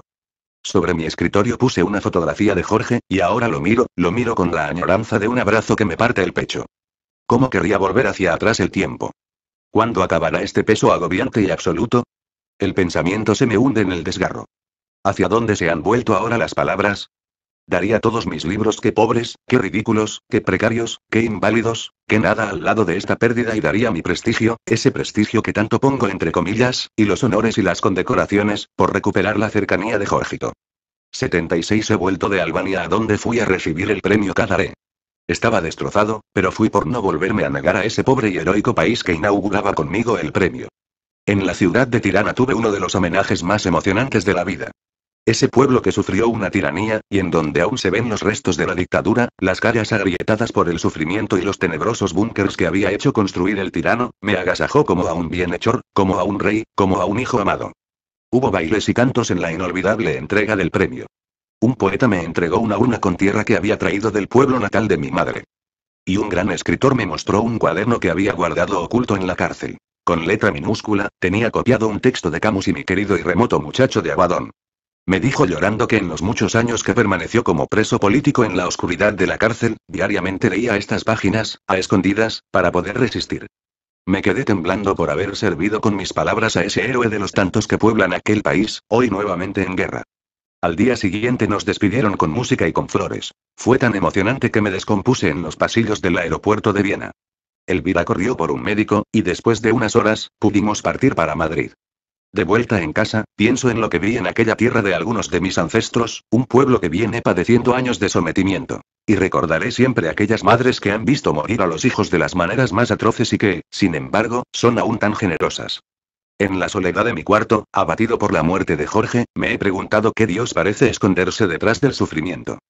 77 Caminando por esta casa que en otro tiempo todos compartimos, y en la que hoy deambulo perdido, me he detenido, Jorgito, ante tu retrato. Silvina Ocampo, gran poeta y autora de cuentos memorables, también alguna vez lo hizo en la época en que estábamos muy cerca. Hace tantos años, tantos. Lentamente he mirado uno a uno los rasgos de ese niño de 10 años que yo llevaba de la mano, creyendo que para siempre estaría junto a mí. Y entonces, a través de las arrugas y de las lágrimas, fui recreando aquel tiempo ya ido, pero tan añorado, y sagrado. En la soledad de mi estudio, escucho el quinteto de Schumann para cuerdas y piano que tanto amabas. ¿Cómo comprendías que aquel entrañable, melancólico y desdichado músico enloqueciera, y se arrojara al rin? Se te iluminaba la cara cuando hablabas de él, de su familia y de su historia, a la que siempre volvías, como si lo extrañaras o te ayudara de vivir. Admirabas en Schumann su genio musical desbordante de poesía y de ternura y te conmovía el amor de Clara. Ella lo acompañó, lo sostuvo y lo protegió. Y, a su muerte, fue ella la que más ayudó a divulgar su obra, y a que se lo valorara en el mundo entero. Me vienen a la memoria las tardes que pasábamos conversando con Mario y con vos sobre innumerables temas, para terminar, muy a menudo, hablando de música. Coincidíamos en que Brahms era uno de los supremos, y desde luego Beethoven y Bach. Y el grande y maravilloso Schubert, que nunca llegó a escuchar sus últimos quintetos. Dios mío, ¿dónde estás? Si estás en ellos, qué triste debes de ser también vos, qué melancólico. Te estoy viendo, Jorge, sentado al piano sobre un taburete, tocando a cuatro manos con Matilde aquellas conmovedoras obras que nos ayudan a sobrellevar la condición humana. Desde muy chico tuviste una asombrosa condición para la música. Martínez Estrada nos sugirió que te hiciéramos estudiar con una de las discípulas de Escaramucha, y fue ella la que se asombró al comprobar que tenías el oído absoluto. En uno de los conciertos que se daban a fin de año, Durbano, gran crítico musical, dijo, hay dos chicos que prometen ser grandes concertistas. Uno es el hijo de Sábato, la otra, una chica llamada Marta Argerich. Y sin embargo yo te arranqué de la música cuando Epstein me aseguró que llegarías muy lejos como ejecutante, pero no serías un compositor. Lo hice porque consideré que era un destino cruel vivir subiendo, 78 y bajando de aviones, en inhóspitos cuartos de hoteles, sin hogar, sin familia, sin esas pequeñas cosas cotidianas, acaso modestas, pero que nos ayudan a vivir. Algo que nunca me reprochaste, a pesar de tu auténtica pasión por la música, a la que volvías cada tarde, agotado del trabajo, como se vuelve a un amor secreto y verdadero. Te estoy rindiendo homenaje, Jorge, a tu manera de ser, a tu humildad por momentos irritante. Porque con tu genio nunca te importó que otros utilizaran tus trabajos de investigación y tus ideas. Debes enorgullecerte de Lidia, tu mujer, que a pesar del dolor sigue luchando. Y de tus hijas, que heredaron de vos el talento y la honestidad. Dante y Anne están a su lado. Nunca he sufrido tristeza igual. Había muerto uno de los seres más grandes que he conocido, generoso en el reconocimiento del genio de los otros, de aquellos a quienes admiraba. Desde Schumann, Brahms, Beethoven, Malraux, Tomás Moro, Saint-Exupéry, Jorge tuvo respeto por la criatura humana, amor por los pobres y desvalidos, por quienes trabajó toda su vida. Desde su cargo de ministro, sin descanso recorrió el país visitando las escuelas en los lugares más apartados. En este atardecer de 1998, continuó escuchando la música que él amaba, aguardando con infinita esperanza el momento de reencontrarnos en ese otro mundo, en ese mundo que quizá, quizá exista. 79 salí a caminar por las calles de Buenos Aires y, conducido por un oscuro presagio, llegué hasta los viejos senderos de Parque Lezama. Abrumado por los recuerdos, me detuve frente a la estatua de Ceres, donde 40 años atrás, misteriosamente, Martín se encontró con Alejandra. Cuando perdemos el sentido con el cual hemos vivido, volvemos a los lugares donde nos hemos planteado angustiosos interrogantes acerca de la existencia. Y así, en muchas ocasiones he venido hasta esta plaza y me he sentado en sus bancos, como ayer. Y he permanecido durante horas observando a esos desamparados que abundan en Buenos Aires, como ocurre en todas las grandes ciudades. Esos náufragos que, en medio de un océano tempestuoso, arrojan al mar su botella. Hasta que un día alguien recoge esos fragmentos ilegibles, sin saber a quién pertenecen, si acaso hablan del amor o la calamidad. Pero ayer tarde la depresión me ha ahogado, y Elvira ha tenido que llevarme, casi que empujarme, para poder caminar, tal es mi congoja. Hoy quiero contar quién ha sido Elvira González Fraga en mi vida. Lo hago como símbolo de gratitud por todo lo que he recibido de ella. Durante más de 18 años, me ha ayudado en mis tareas con su gran talento y extrema sensibilidad. Siempre espero que finalmente acepte publicar lo que ha escrito. Con emoción, pienso en el amor que ha puesto, en el cuidado de las traducciones de mi obra, en las exposiciones de mis cuadros, en los seminarios y en los congresos, postergando por mí tantas posibilidades. También acompañó a Matilde, y fue ella quien ordenó sus poesías y sus escritos, y los llevó a aquella imprenta artesanal del sur. Desde que enfermó Matilde, ella ha sido para mí la persona en quien he volcado mi desazón y mi angustia. En este tiempo de dolor, sin el apoyo y la fe de Elvirita, me hubiera muerto. Y ahora, cuando ya no sé si estaré en condiciones de viajar, me viene a la memoria una mañana en que la acompañé en París a St. Julien Le Pauvre, la pequeña y hermosa iglesia, donde asistimos al rito ortodoxo. Fue un momento trascendente. Durante meses, después, fui con ella a las misas que celebraba Hugo Mújica, ese hombre de tanta fe como talento, y fue entonces cuando comulgué por primera vez. El Virita es de las personas más queridas, en la vida. 80 en la plaza, frente a la estación, me quedé mirando a un chico. Y una vez más me admiré de cómo en la infancia el tiempo va despacio, como si estuviera quieto. Es un infinito que se extiende entre la fiesta de Reyes que ha pasado y la que vendrá, y los cumpleaños de los chicos suceden después de tantos hechos, o sueños, que el próximo aparece tan distante para ellos, como la ancianidad. Este remanso hace de la niñez el periodo más fértil y más vulnerable, los chicos comparten la serenidad de los árboles y el germinar de la tierra. Viven un tiempo que no se acaba. ¿Cuánto falta para que llegue la Navidad? ¿Cuánto falta para mi cumpleaños? Para ellos el pasado no existe y el futuro es invisible. Y entonces, cada día es eterno. Muchas veces me he detenido, solo en mi estudio, o con amigos, a cavilar sobre este tema, sobre la diferencia entre el tiempo existencial y el tiempo cronológico. Este es igual para todos. Aquel, lo más personal de cada hombre. Así como despaciosas son las horas de la infancia, cuando uno se va haciendo viejo, las horas se achican, como un astro que girará cada vez en órbitas más pequeñas, y a mayor velocidad, de modo que los regalos de cumpleaños no se han llegado a gozar cuando ya viene, emboscado, un nuevo aniversario. Con los años, el pasado va aumentando de peso, y la gravedad de la existencia parece desfondarse hacia ese costado. Cuando uno ya ha abandonado la energía de los trabajos, el ardor de la pasión, la ilusión de otros proyectos, con frecuencia, queda habitando el presente, distraídamente, como un juego al que ya no se le prestará atención, porque el yo más profundo ha quedado anclado en esos momentos cuando la vida resplandecía. Pero cuántas veces he sentido la vida renovada como la de un águila. Cuántas veces la creación me había entregado un fulgor de eternidad. He vuelto a leer a San Agustín, y he recordado aproximaciones y diferencias. Él plantea, creo que por primera vez en la historia de la filosofía de Occidente, esta idea existencial del tiempo que tanto me había entusiasmado. En cambio, entonces, yo ni me había detenido en su valoración de la eternidad. En la eternidad nada pasa, sino todo está presente, el pasado viene empujado por un futuro, y el futuro viene en pos de un pasado, ¿quién detendrá el corazón del hombre para ver que se pare y vea? 81 Como estando la eternidad inmóvil, gobierna los tiempos futuros y pasados, la eternidad ni futura ni pasada. Antes, en aquellas épocas, una ansiedad creadora me lanzaba siempre más allá, el ser y el tiempo me parecían inseparables, y yo avanzaba hacia el futuro como hacia mi destino. Después, el tiempo fue acelerándose, y yo sentí que debía resignarme y abandonar tantos proyectos. Cuando murió Jorge Federico, la concepción que entonces tenía del tiempo resultó inválida. Ya no fue vertiginoso su pasar ni agobiante su pasado, todo quedó suspendido en un vacío desgarrador. En mi imposibilidad de revivir a Jorge, busqué en las religiones, en la parapsicología, en las habladurías esotéricas, pero no buscaba a Dios como una afirmación o una negación, sino como a una persona que me salvara, que me llevara de la mano como a un niño que sufre. Lo que antes había leído con juicio crítico, ahora lo absorbía como un sediento. Volví a Jaspers. A las pocas páginas di con una cita de Epicteto. El origen de la filosofía es percatarse de la propia debilidad e impotencia.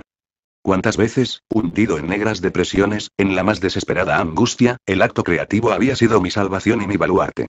Creía entonces en Pavese cuando dijo que al sufrir aprendemos una alquimia que transfigura en oro al barro, la desdicha en privilegio. Pero la ausencia de Jorge es irreparable. Supe que ninguna obra nacida de mis manos me podía aliviar, y me pareció hasta mezquino que intentara distraerme, o aún pintar o escribir algo. Temblando recordé uno de esos graves presagios que he tenido en la vida. Varios años antes de su muerte, yo me había propuesto escribir una historia sobre un hombre mayor, un artesano de pueblo, uno de esos hombres que son puro corazón y creyentes de la vida. Iba a tener como único familiar a una nieta a quien amaba y a quien le contaba hermosas leyendas. Mi intención era ponerlo en una situación límite. Si perdía a su chiquita, por su gran bondad seguiría creyendo en la vida. Yo no sabía cuál iba a ser la reacción de ese abuelo, esperaba que la intuición me guiara. Pero estaba tan inmerso en la pintura que no llegué a escribirlo. Ahora siento a pleno el límite de la vida y el dolor ha detenido el tiempo en un ardor eterno. Sé que Jaspers dice que hay en las situaciones límite un impulso fundamental que mueve a encontrar en el fracaso el camino que lleva al ser, y también que la forma en que experimenta su fracaso es lo que determina en qué acabará el hombre. No sé. Sí puedo decir que el tiempo de mi vida se quebró, que después de la muerte de Jorge ya no soy el mismo, me he convertido en un ser extremadamente necesitado, que no para de buscar un indicio que muestre esa eternidad donde recuperar su abrazo.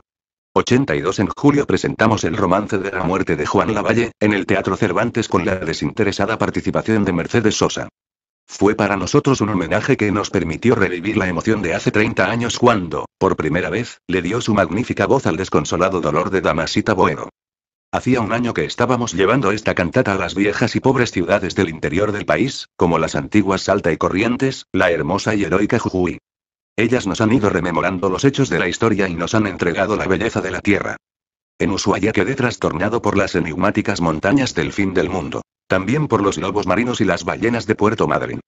Sé que mi idea de realizar el romance no habría sido posible si no hubiera contado con un gran compositor del talento de Eduardo Falú, y con su voz excepcional. En la ciudad de Resistencia tuve una experiencia que me parece decisiva. Fue a principio de año, durante la gran inundación del Paraná. Entonces me conmovió ver tanta pobreza y a la vez, tanta humanidad. Como si fuesen inseparables, como si lo esencial del hombre se revelara en sus carencias. Las correntadas avanzaban como las crecidas de los grandes ríos de montaña, destruyendo sus casas, arruinando sus cosechas. En cualquier momento el Paraná podía derribar los muelles y quedar entonces sepultados la ciudad y los pueblos vecinos. Cantidades de familias habían sido evacuadas, y en esa atmósfera de peligro, en medio de lluvias torrenciales, fue emocionante ver cómo se ayudaban unos a otros, cuánta humanidad vimos aflorar en el peligro. Fue tan revelador para Eduardo y para mí que decidimos colaborar con un trabajo que se desarrollará en un pueblo indígena de la zona del impenetrable. Es admirable la religiosidad con que viven los hombres de estos pueblos del interior. En su modo de sobrellevar la pobreza he encontrado rastros de una vida más poética. Son ellos los que tímidamente nos muestran valores que aquí sentimos ya sin vigencia, ya sin tiempo. 83 Paso junto a la puerta del cuarto donde murió Matilde, luego de una dura y larga enfermedad que la dejó postrada durante años. En estos tiempos en que el mal la vencía recibió el amoroso cuidado de las enfermeras y de Gladys, la fiel Gladys, que ahora sufre conmigo este dolor. La cuidaron como a una criatura indefensa. Cuanto más grande es la mujer que el hombre. Matilde recibió la atención de médicos notables, y la ayuda de nuestra amiga Estella Solti fue fundamental para sobrellevar esta dolencia. Yo solía apoyarme al lado de su puerta, y poniendo el oído, me quedaba así, escuchando. La enfermera le hablaba como si ella le entendiera, hasta que le contestaba con una voz apenas audible, desde una lejanía indescifrable. En una ocasión, Matilde me contó que no había dormido en toda la noche. Me hablaba de un pájaro de color negro azulado, grande, hermoso, que se le acercó para decirle que estaba llegando el momento de su muerte. Había sido un sueño muy nítido, que le había dado una especie de paz. Hasta que volvía la enfermera y yo me iba a encerrar en el estudio. Durante un tiempo muy largo permanecía sentado, como tantas veces, mirando hacia el jardín, sin saber qué hacer, sin ganas de nada, pensando en cosas oscuras e indeterminadas. ¡Cuánta congoja! ¿Cómo va quedándose a oscuras esta casa en otro tiempo llena de los gritos de los niños, de cumpleaños infantiles, de los cuentos que Matilde inventaba por la noche para dormir a los nietos? Qué lejos, Dios mío, aquellas tardes en que venían a conversar con ella sus amigos, cuando la visitaba Julia Constenla o Ana María Novik. Con enorme desconsuelo pienso en todo lo que ella debió soportar por mi culpa. Recuerdo la tarde en que la dejé en París, para irme con una mujer que había sido condesa en los años previos a la Revolución rusa. Me la había presentado un príncipe que entonces trabajaba de taxista, con quien hablábamos sobre Chekhov, Dostoyevsky, Tolstoy. La agitación que vivía durante el período surrealista era tal que, finalmente, abandoné a Matilde en el puerto, con el pequeño Jorge en brazos, cometiendo un acto horrendo que jamás ha dejado de atormentarme. Por eso, cuando en la calle, en el tren, se me acercan a darme la mano, o algunas mujeres y hasta ancianas religiosas me dicen, que Dios lo mantenga por muchos años todavía, me pregunto si lo merezco. Tantos fueron mis abandonos a aquella mujer que dio su alma y su vida por mí, por evitar, precisamente, que mis desalientos me llevaran a quemar todo lo que escribía. Fue siempre mi primera lectora, la más severa, 84 pero también la más cariñosa. Sus sugerencias eran precisas. Matilde hacía una marca suave con lápiz negro al costado de la página, y siempre tenía razón. Su coraje no la hizo aflojar jamás, sosteniéndome a pesar de toda clase de penurias. Pero también tuve otros dos vínculos, profundos, con mujeres que me cuidaron con infinita generosidad. Porque siempre necesité que me apuntalaran como a una casa vieja o mal construida. En sus años finales, cuando la he visto desolada por su enfermedad, es cuando más profundamente la quise. Y pienso en el valor con que sufrió mi vida complicada, azarosa, contradictoria. A su lado pasé momentos de peligro, de amor, de amargura, de pobreza, de desengaños políticos y de tristísimos alejamientos, en que esperaba siempre a que el barco sacudido por oscuras tempestades regresara a la calma, y yo volviera de divisar el cielo estrellado, esa cruz del sur que marcaba nuevamente el rumbo, la misma que tantas veces, cuando éramos muchachos, habíamos contemplado desde algún banco de plaza. Y muchos, muchísimos años antes, el supremo misterio, la recuerdo cuando me farfulló aquellos versos de Manrique. ¿Cómo se pasa la vida? ¿Cómo se viene la muerte tan callando? 85 esta tarde, mientras yo estaba jugando con Yasmín, la chiquita de Erika, llegó Luciana con su bebé de tres meses, mi bisnieto Ignacio, y recordé cuando Juan Sebastián era un chiquilín y ella lo cuidaba, siempre tan madrecita. Después vino Mario a buscarme y me llevó a escuchar el coro que formó. Tiene un gran sentido de la música y es indudablemente un creador. En este tiempo volví a entusiasmarme con la idea de abrir este lugar, donde hemos vivido, a la gente que me ha demostrado su devoción y su amor, a quienes me leyeron y me estimularon. Siento que, de algún modo, les pertenece. Y me consuela que cuando ya no esté, esta casa, bajo el cuidado de Gladys, se mantenga con las puertas abiertas. Le he pedido a Graciela Molinelli que haga lo posible para cumplir mi deseo, y espero que entre todos la cuiden, las dos familias y los grandes amigos que siempre nos han acompañado. Esta es la casa que con Matilde hemos venido a habitar hace casi 60 años, donde transcurrió la infancia de nuestros hijos, donde filmó Mario sus primeras poéticas películas, donde vino a vivir con Elena y donde nacieron nuestros nietos Luciana, Mercedes y Guido. Donde pasamos pobrezas, pero también acontecimientos fundamentales de nuestra vida.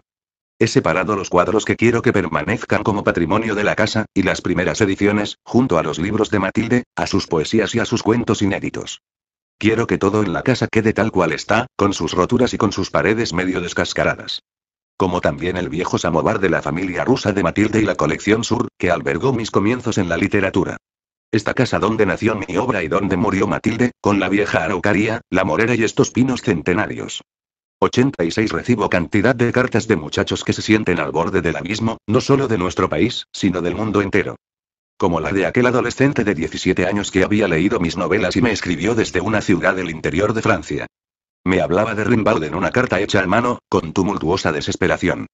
Me aterró porque presentí que podía llegar a suicidarse, ya que este drama es universal. Los chicos me hablan de sus tristezas, de las ganas de morir, me cuentan, también, cómo se aferran a Martín y a Hortensia Paz, porque los ayudan a resistir esta vida atroz y despiadada. Siempre me han preocupado estos jóvenes cuyos ojos están destinados a la belleza, pero también al infortunio porque qué más desventurado que un sediento buscador de absolutos. En mi juventud, en distintas oportunidades tuve la tentación del suicidio, pero terminé salvándome al comprender el sufrimiento de todos los que se entristecerían con mi muerte. Siempre habrá alguien a quien nuestra ausencia resultará irreparable. Una madre, un padre, un hermano. Cualquier ser por remoto que fuera. Un entrañable amigo, hasta un perro basta. Diego Curatella, que en estos últimos años trabaja conmigo, me recuerda lo que dice Camus. No hay más que un problema filosófico verdaderamente serio. El suicidio. Juzgar que la vida vale o no la pena de que se la viva es responder a la pregunta fundamental de la filosofía. Y en momentos en que cabilo sobre la vida, sobre este enigmático final, cuando ya no tengo fuerzas para seguir escribiendo, cuando todo me parece absurdo e inútil, y este libro, sobre todo este libro, ¿qué clase de ánimo podría darles a quienes desesperadamente me piden auxilio? Diego me lee a importantes pensadores o me recuerda versos para mí olvidados. Con su formación filosófica, me ha convencido de que debo concluir este libro por los jóvenes que, en medio del descreimiento, hoy más que nunca necesitan la palabra de sus escritores. Él me recordó lo que Bruno dice en una de mis novelas. Cualquier historia de las esperanzas y desdichas de un solo hombre, de un simple muchacho desconocido, podía abarcar a la humanidad entera.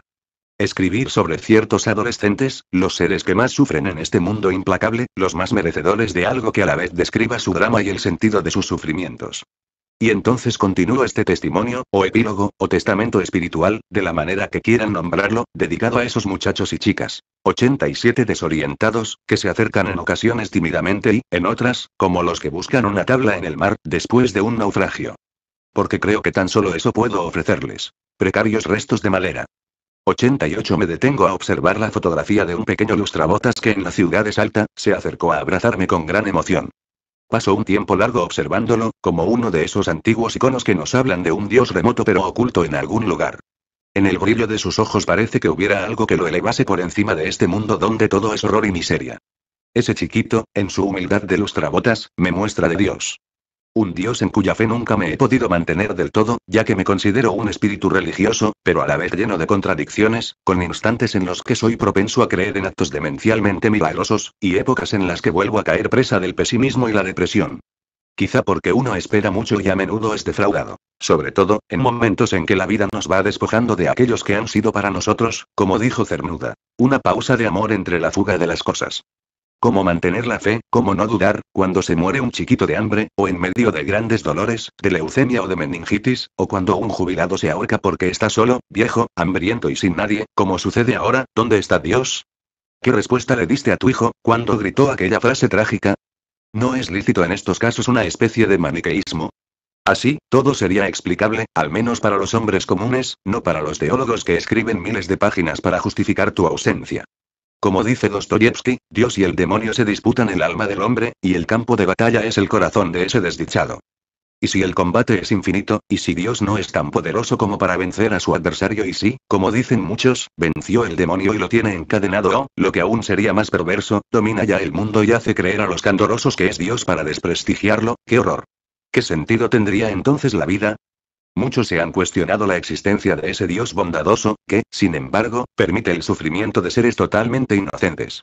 Una santa como Teresa de Lisieux tuvo dudas hasta momentos antes de su muerte. Y en medio del tormento, las hermanas la oyeron decir, hasta el alma me llega a la blasfemia.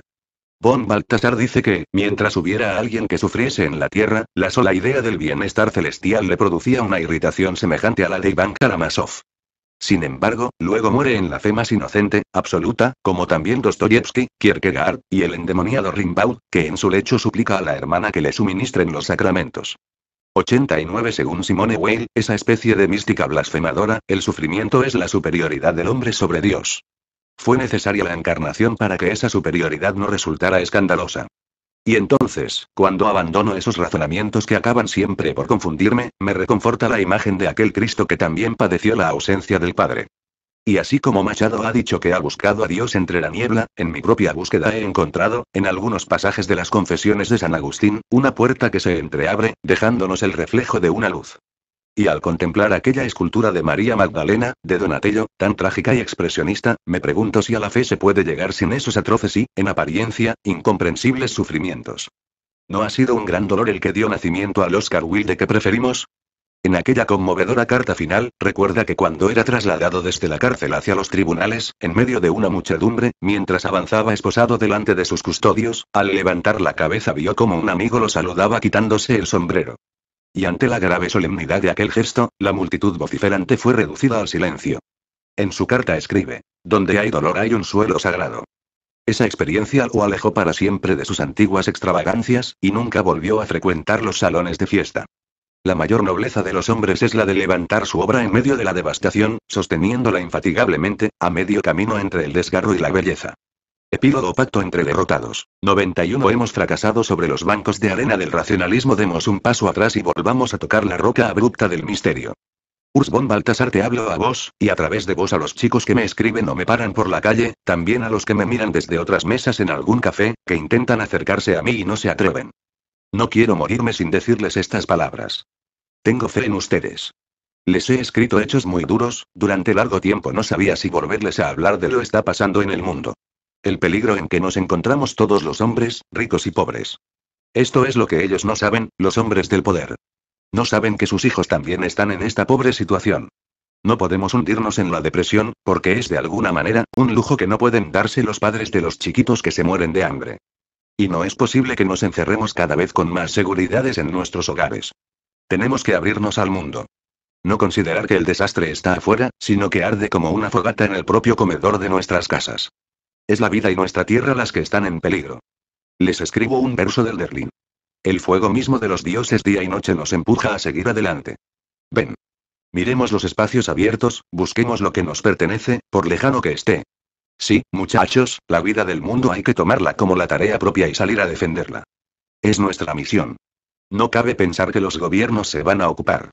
Los gobiernos han olvidado, casi podría decirse que en el mundo entero, que su fin es promover el bien común. La solidaridad adquiere entonces un lugar decisivo en este mundo acéfalo que excluye a los diferentes. Cuando nos hagamos responsables del dolor del otro, nuestro compromiso nos dará un sentido que nos colocará por encima de la fatalidad de la historia. Pero antes habremos de aceptar que hemos fracasado.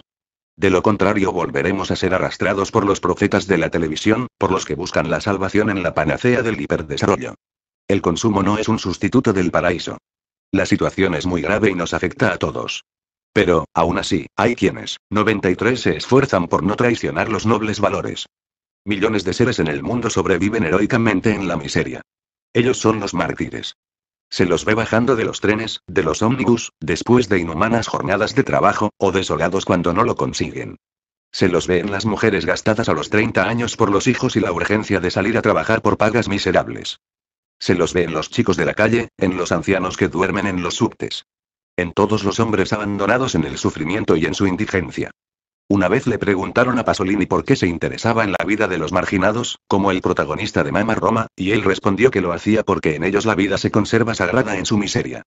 En un archivo donde colecciono papeles, recortes que me ayudan a vivir, tengo una fotografía del terremoto que destruyó hace años Concepción de Chile. Una pobre india, que ha recompuesto precariamente su ranchito hecho de chapas de zinc y de cartones, estaba riendo con una vieja escoba ese pedazo de tierra apisonada delante de su casucha.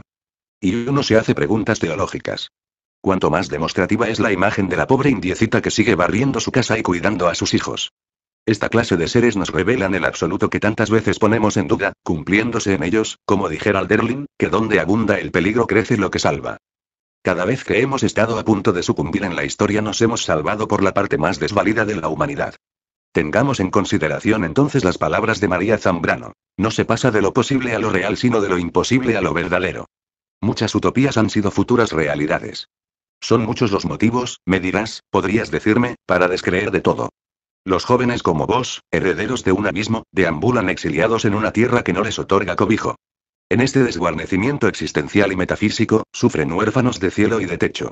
Comprendo tu congoja, el desconcierto de pertenecer a un tiempo en que se han derrumbado los muros, pero donde aún no se vislumbran nuevos horizontes. Falsas luminarias pretenden cautivar tu voluntad desde las pantallas. Debes de pensar que no hay un cambio posible cuando el valor de la existencia es menor que el precio de un aviso publicitario. El escepticismo se ha agravado por la creciente resignación con que asumimos la magnitud del desastre. La banalidad con que se degradan los sentimientos más nobles, degenerando al hombre en una patética caricatura, en un ser irreconocible en su humanidad. Yo también tengo muchas dudas, y en ocasiones llego a pensar si son 94 válidos los argumentos con que he intentado hallarle sentido a la existencia. Me reconforta saber que Kierkegaard decía que tener fe es el coraje de sostener la duda. Yo oscilo entre la desesperación y la esperanza, que es la que siempre prevalece, porque si no la humanidad habría desaparecido, casi desde el comienzo, porque tantos son los motivos para dudar de todo. Pero por la persistencia de ese sentimiento tan profundo como disparatado, ajeno a toda lógica, que desdichado el hombre que solo cuenta con la razón. Nos salvamos, una y otra vez, sobre todo por las mujeres. Porque no solo dan la vida, sino que también son las que preservan esta enigmática especie. No en vano, en una de las culturas cuya sabiduría es milenaria, se creía que el alma de una mujer que moría en medio del parto era conducida al mismo cielo que el guerrero vencido en un combate. Por eso te hablo, con el deseo de generar en vos no solo la provocación sino también el convencimiento. Muchos cuestionan mi fe en los jóvenes, porque los consideran destructivos o apáticos. Es natural que en medio de la catástrofe haya quienes intenten evadirse entregándose vertiginosamente al consumo de drogas. Un problema que los imbéciles pretenden que sea una cuestión policial, cuando es el resultado de la profunda crisis espiritual de nuestro tiempo. Yo reafirmo a diario mi confianza en ustedes. Son muchos los que en medio de la tempestad continúan luchando, ofreciendo su tiempo y hasta su propia vida por el otro. En las calles, en las cárceles, en las villas miseria, en los hospitales. Mostrándonos que, en estos tiempos de triunfalismos falsos, la verdadera resistencia es la que combate por valores que se consideran perdidos. Durante mi viaje a Albania, conocí a un muchacho llamado Walter, que había dejado su casa en la provincia de Tucumán, para ir a cuidar enfermos junto a la congregación de Teresa de Calcuta. Con cuánta emoción lo recuerdo. Siempre que veo las terribles noticias que nos llegan desde aquel entrañable país, me pregunto dónde estará, si acaso leerá estas palabras de reconocimiento a su noble heroísmo. Son millones los que están resistiendo, vos mismo lo podés comprobar cuando ves a esos hombres y mujeres que se levantan a altas horas de la madrugada y salen a buscar un empleo, trabajando en lo que pueden para alimentar a sus hijos y mantener honradamente al hogar, por modesto que sea. ¿Te detuviste a pensar cuántos en todo el país comparten esta hambre por la dignidad y la justicia? Miles de personas, a pesar de las derrotas y los fracasos, continúan manifestándose, llenando las plazas, decididos a liberar a la verdad de su largo confinamiento. En todas partes hay señales de que la gente comienza a gritar. Basta. Lo mismo ocurre con el movimiento zapatista en México, y 95 con todos los movimientos que nos advierten del peligro que corre el futuro del planeta. Hay que recordar que hubo alguien que derribó al imperio más poderoso del mundo con una cabra y una rueca simbólica. Una salida posible es promover una insurrección a la manera de Gandhi, con muchachos como vos. Una rebelión de brazos caídos que derrumbe este modo de vivir donde los bancos han reemplazado a los templos. Esta rebelión no justifica de ningún modo que permanezcas en una torre, indiferente a lo que pasa a tu lado. Gandhi advirtió que es una mentira pretender ser no violento y permanecer pasivo ante las injusticias sociales. Por el contrario, creo que es desde una actitud anarcocristiana que habremos de encaminar la vida. Ya no quedan locos, se murió aquel manchego, aquel estrafalario fantasma en el desierto. Todo el mundo está cuerdo, terrible, monstruosamente cuerdo. Esa locura cuya ausencia León Felipe lamenta, es un acto similar a la del estoico Guevara, cuando abandonó todas las comodidades y partió hacia una lucha insensata en la selva boliviana, enfermo de asma, ya sin remedios para su mal. Para terminar asesinado por despiadados y repugnantes bichos. ¿Qué importa si se equivocaba con el materialismo dialéctico? Eso mismo prueba su inocencia, su autenticidad. Luchaba por aquel hombre nuevo que hoy nos urge rescatar de los escombros de la historia. En su carta final les dice a los padres, Queridos viejos, otra vez siento bajo mis talones el costillar de Rocinante, vuelvo al camino con mi adarga al brazo. Y entonces sale en busca de lo que Rique llamaría su muerte propia. Esa es su grandeza, que algunos considerarán su chiquilinada, su tontería. Pero estos gestos de heroísmo demencial son los que nos rescatan de tanta iniquidad, porque no se puede vivir sin héroes, santos ni mártires. Como esos estudiantes que en la plaza de Tiananmen, en una horrible masacre, murieron al imponerse ante el implacable acero de los tanques. Son ellos los que nos indican los caminos por los que la vida puede renacer. Vivimos un tiempo en que el porvenir parece dilapidado. Pero si el peligro se ha vuelto nuestro destino común, debemos responder ante quienes reclaman nuestro cuidado. Hace poco he visto por televisión a una mujer que sonreía con inmenso y modesto amor. Me conmovió la ternura de esa madre de Corrientes o del Paraguay, que lagrimeaba de felicidad junto a sus trillizos que acababan de nacer en un mísero hospital, sin abatirse al pensar que a estos, como a sus otros hijos, los esperaba el desamparo de una villa miseria, inundada en ese 96 momento por las aguas del Paraná. ¿No será Dios que se manifiesta en esas madres? ¿Por qué tendría que manifestarse solo en poetas como Juan de la Cruz o en las sagradas pinturas de Rodault? Si toda resistencia parece absurda cuando se presiente el fin, ¿por qué no detenernos a meditar en estos santos? ¿Acaso no son una muestra de que algo existe del otro lado del absurdo? No sabemos si al final del camino, la vida aguarda como un mendigo que nos extenderá la mano. Esta fe demencial, o milagrosa, se debe precisamente, a que hemos llegado a tocar fondo. Es necesario preservar los lugares que existen hasta en los suburbios de las grandes ciudades, donde aún se conservan los atributos del hombre concreto de carne y hueso. Cuando el mundo hiperdesarrollado se venga abajo, con todos sus siderántropos y su tecnología, en las tierras del exilio se rescatará al hombre de su unidad perdida. Y quizá, cuando despertemos de esta siniestra pesadilla, cuando un vacío de humanidad nos duela en el pecho, entonces recordaremos que alguna vez fuimos aquello que dijo René Char. Seres del salto, no del festín, su epílogo. Me hablas de tu agitación, de una especie de temblor que te sobrecogió y aún perdura, luego de nuestra conversación en aquel café al oírme decir estas palabras. Debes perdonarme. A pesar de los años, no puedo evitar ser desmesurado en lo que considero fundamental. Por otro lado, hay temblores que son tan importantes, porque anteceden a esa clase de decisiones que sacuden los cimientos de nuestra existencia y, aunque generen incomprensión, terminan repercutiendo en el destino de los demás. Los grandes creadores realizan sus obras bajo tensiones similares. Solo lo que se hace apasionadamente merece nuestro afán, lo demás no vale la pena. También yo quise huir del mundo. Ustedes me lo impidieron, con sus cartas, con sus palabras por las calles, con su desamparo. Les propongo entonces, con la gravedad de las palabras finales de la vida, que nos abracemos en un compromiso. Salgamos a los espacios abiertos, arriesguémonos por el otro, esperemos, con quien extiende sus brazos, que una nueva ola de la historia nos levante. Quizá ya lo está haciendo, de un modo silencioso y subterráneo, como los brotes que laten bajo las tierras del invierno. Algo por lo que todavía vale la pena sufrir y morir, una comunión entre 97 hombres, aquel pacto entre derrotados. Una sola torre, sí, pero refulgente e indestructible. En tiempos oscuros nos ayudan quienes han sabido andar en la noche. Lean las cartas que Miguel Hernández envió desde la cárcel donde finalmente encontró la muerte.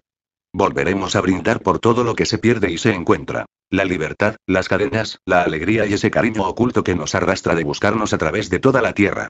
Piensen siempre en la nobleza de estos hombres que redimen a la humanidad. A través de su muerte nos entregan el valor supremo de la vida, mostrándonos que el obstáculo no impide la historia, nos recuerdan que el hombre solo cabe en la utopía. Solo quienes sean capaces de encarnar la utopía serán aptos para el combate decisivo, el de recuperar cuanto de humanidad hayamos perdido.